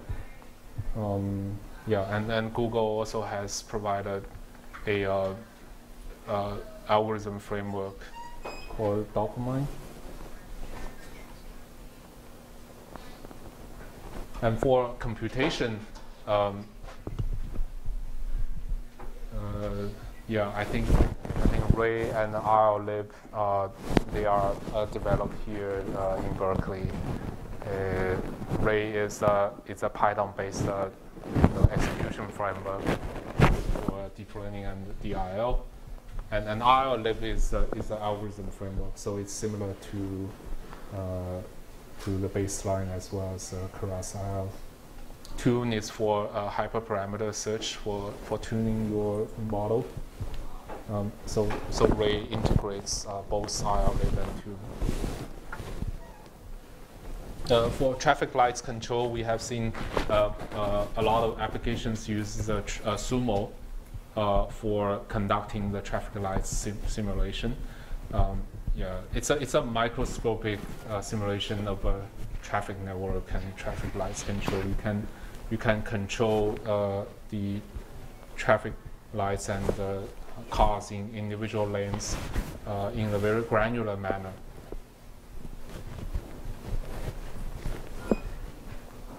Um, and uh, and Flow is a, open source uh, Python library that links uh, RLlib with Sumo. So then uh, you have both the training env uh, environment as well as the algorithms. Um, for autonomous driving, uh, we have seen uh, TORCS in one of the works. Uh, so both TORCS and CARLA, they are they have 3 3D rendering of the physical environment uh, and both are very photorealistic.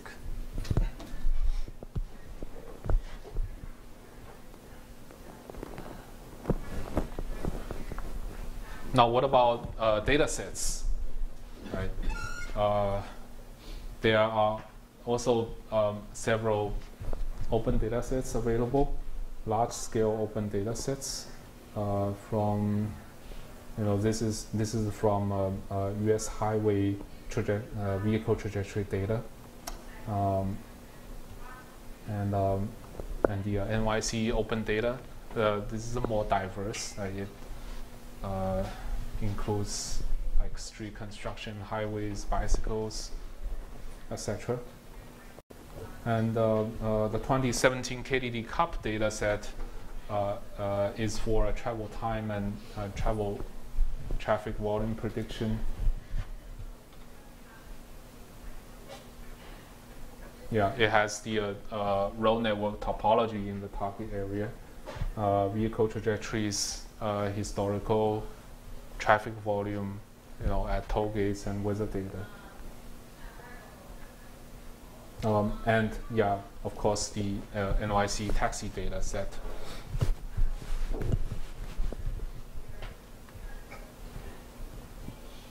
And we also have published uh, open data sets through the uh, Gaia program. So, uh, so this is a, uh, actually now a group, a set of data sets that provides anonymized data uh, for, for trips as well as vehicle trajectory. Um, yeah, I'll skip this. Uh, basically, a timeline of the development of that program. Uh, yeah, for vehicle trajectory, uh, um, uh, basically that covers two uh, major cities in China, and um, and it gives you the start points, end points, uh, routing information, the trips for for two business lines, the express and premier. And there's a there's also a data set for uh, POI uh, for point of interest. Um, this, this, is just some simple statistics for uh, usage of the of the Gaia data sets. Um, already there are hundreds of uh, research institutions uh, using the data to uh, carry out research activities. Uh, so, so this might be helpful. Um, so, uh, if you want to uh, get a open data set, then um, you can simply scan the QR code and uh, go through a very simple verification and review process, and then you have the access to the data.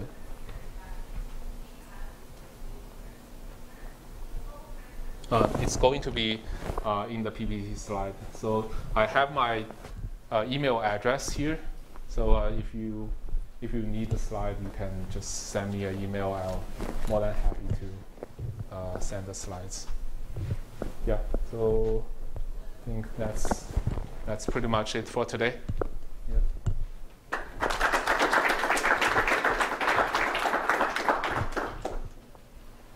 Uh, any questions that I can answer? So we uh, presented few of the DiDi's work re- regarding different different URL methods. So how how much of it is exactly uh, actually in the is in the use used by the your app or Yeah, well, uh, the order the order matching methods, um, at least a variant of it, uh, is in production uh, for uh, for yeah a number of major cities in China. So uh, so that's that's being used in production.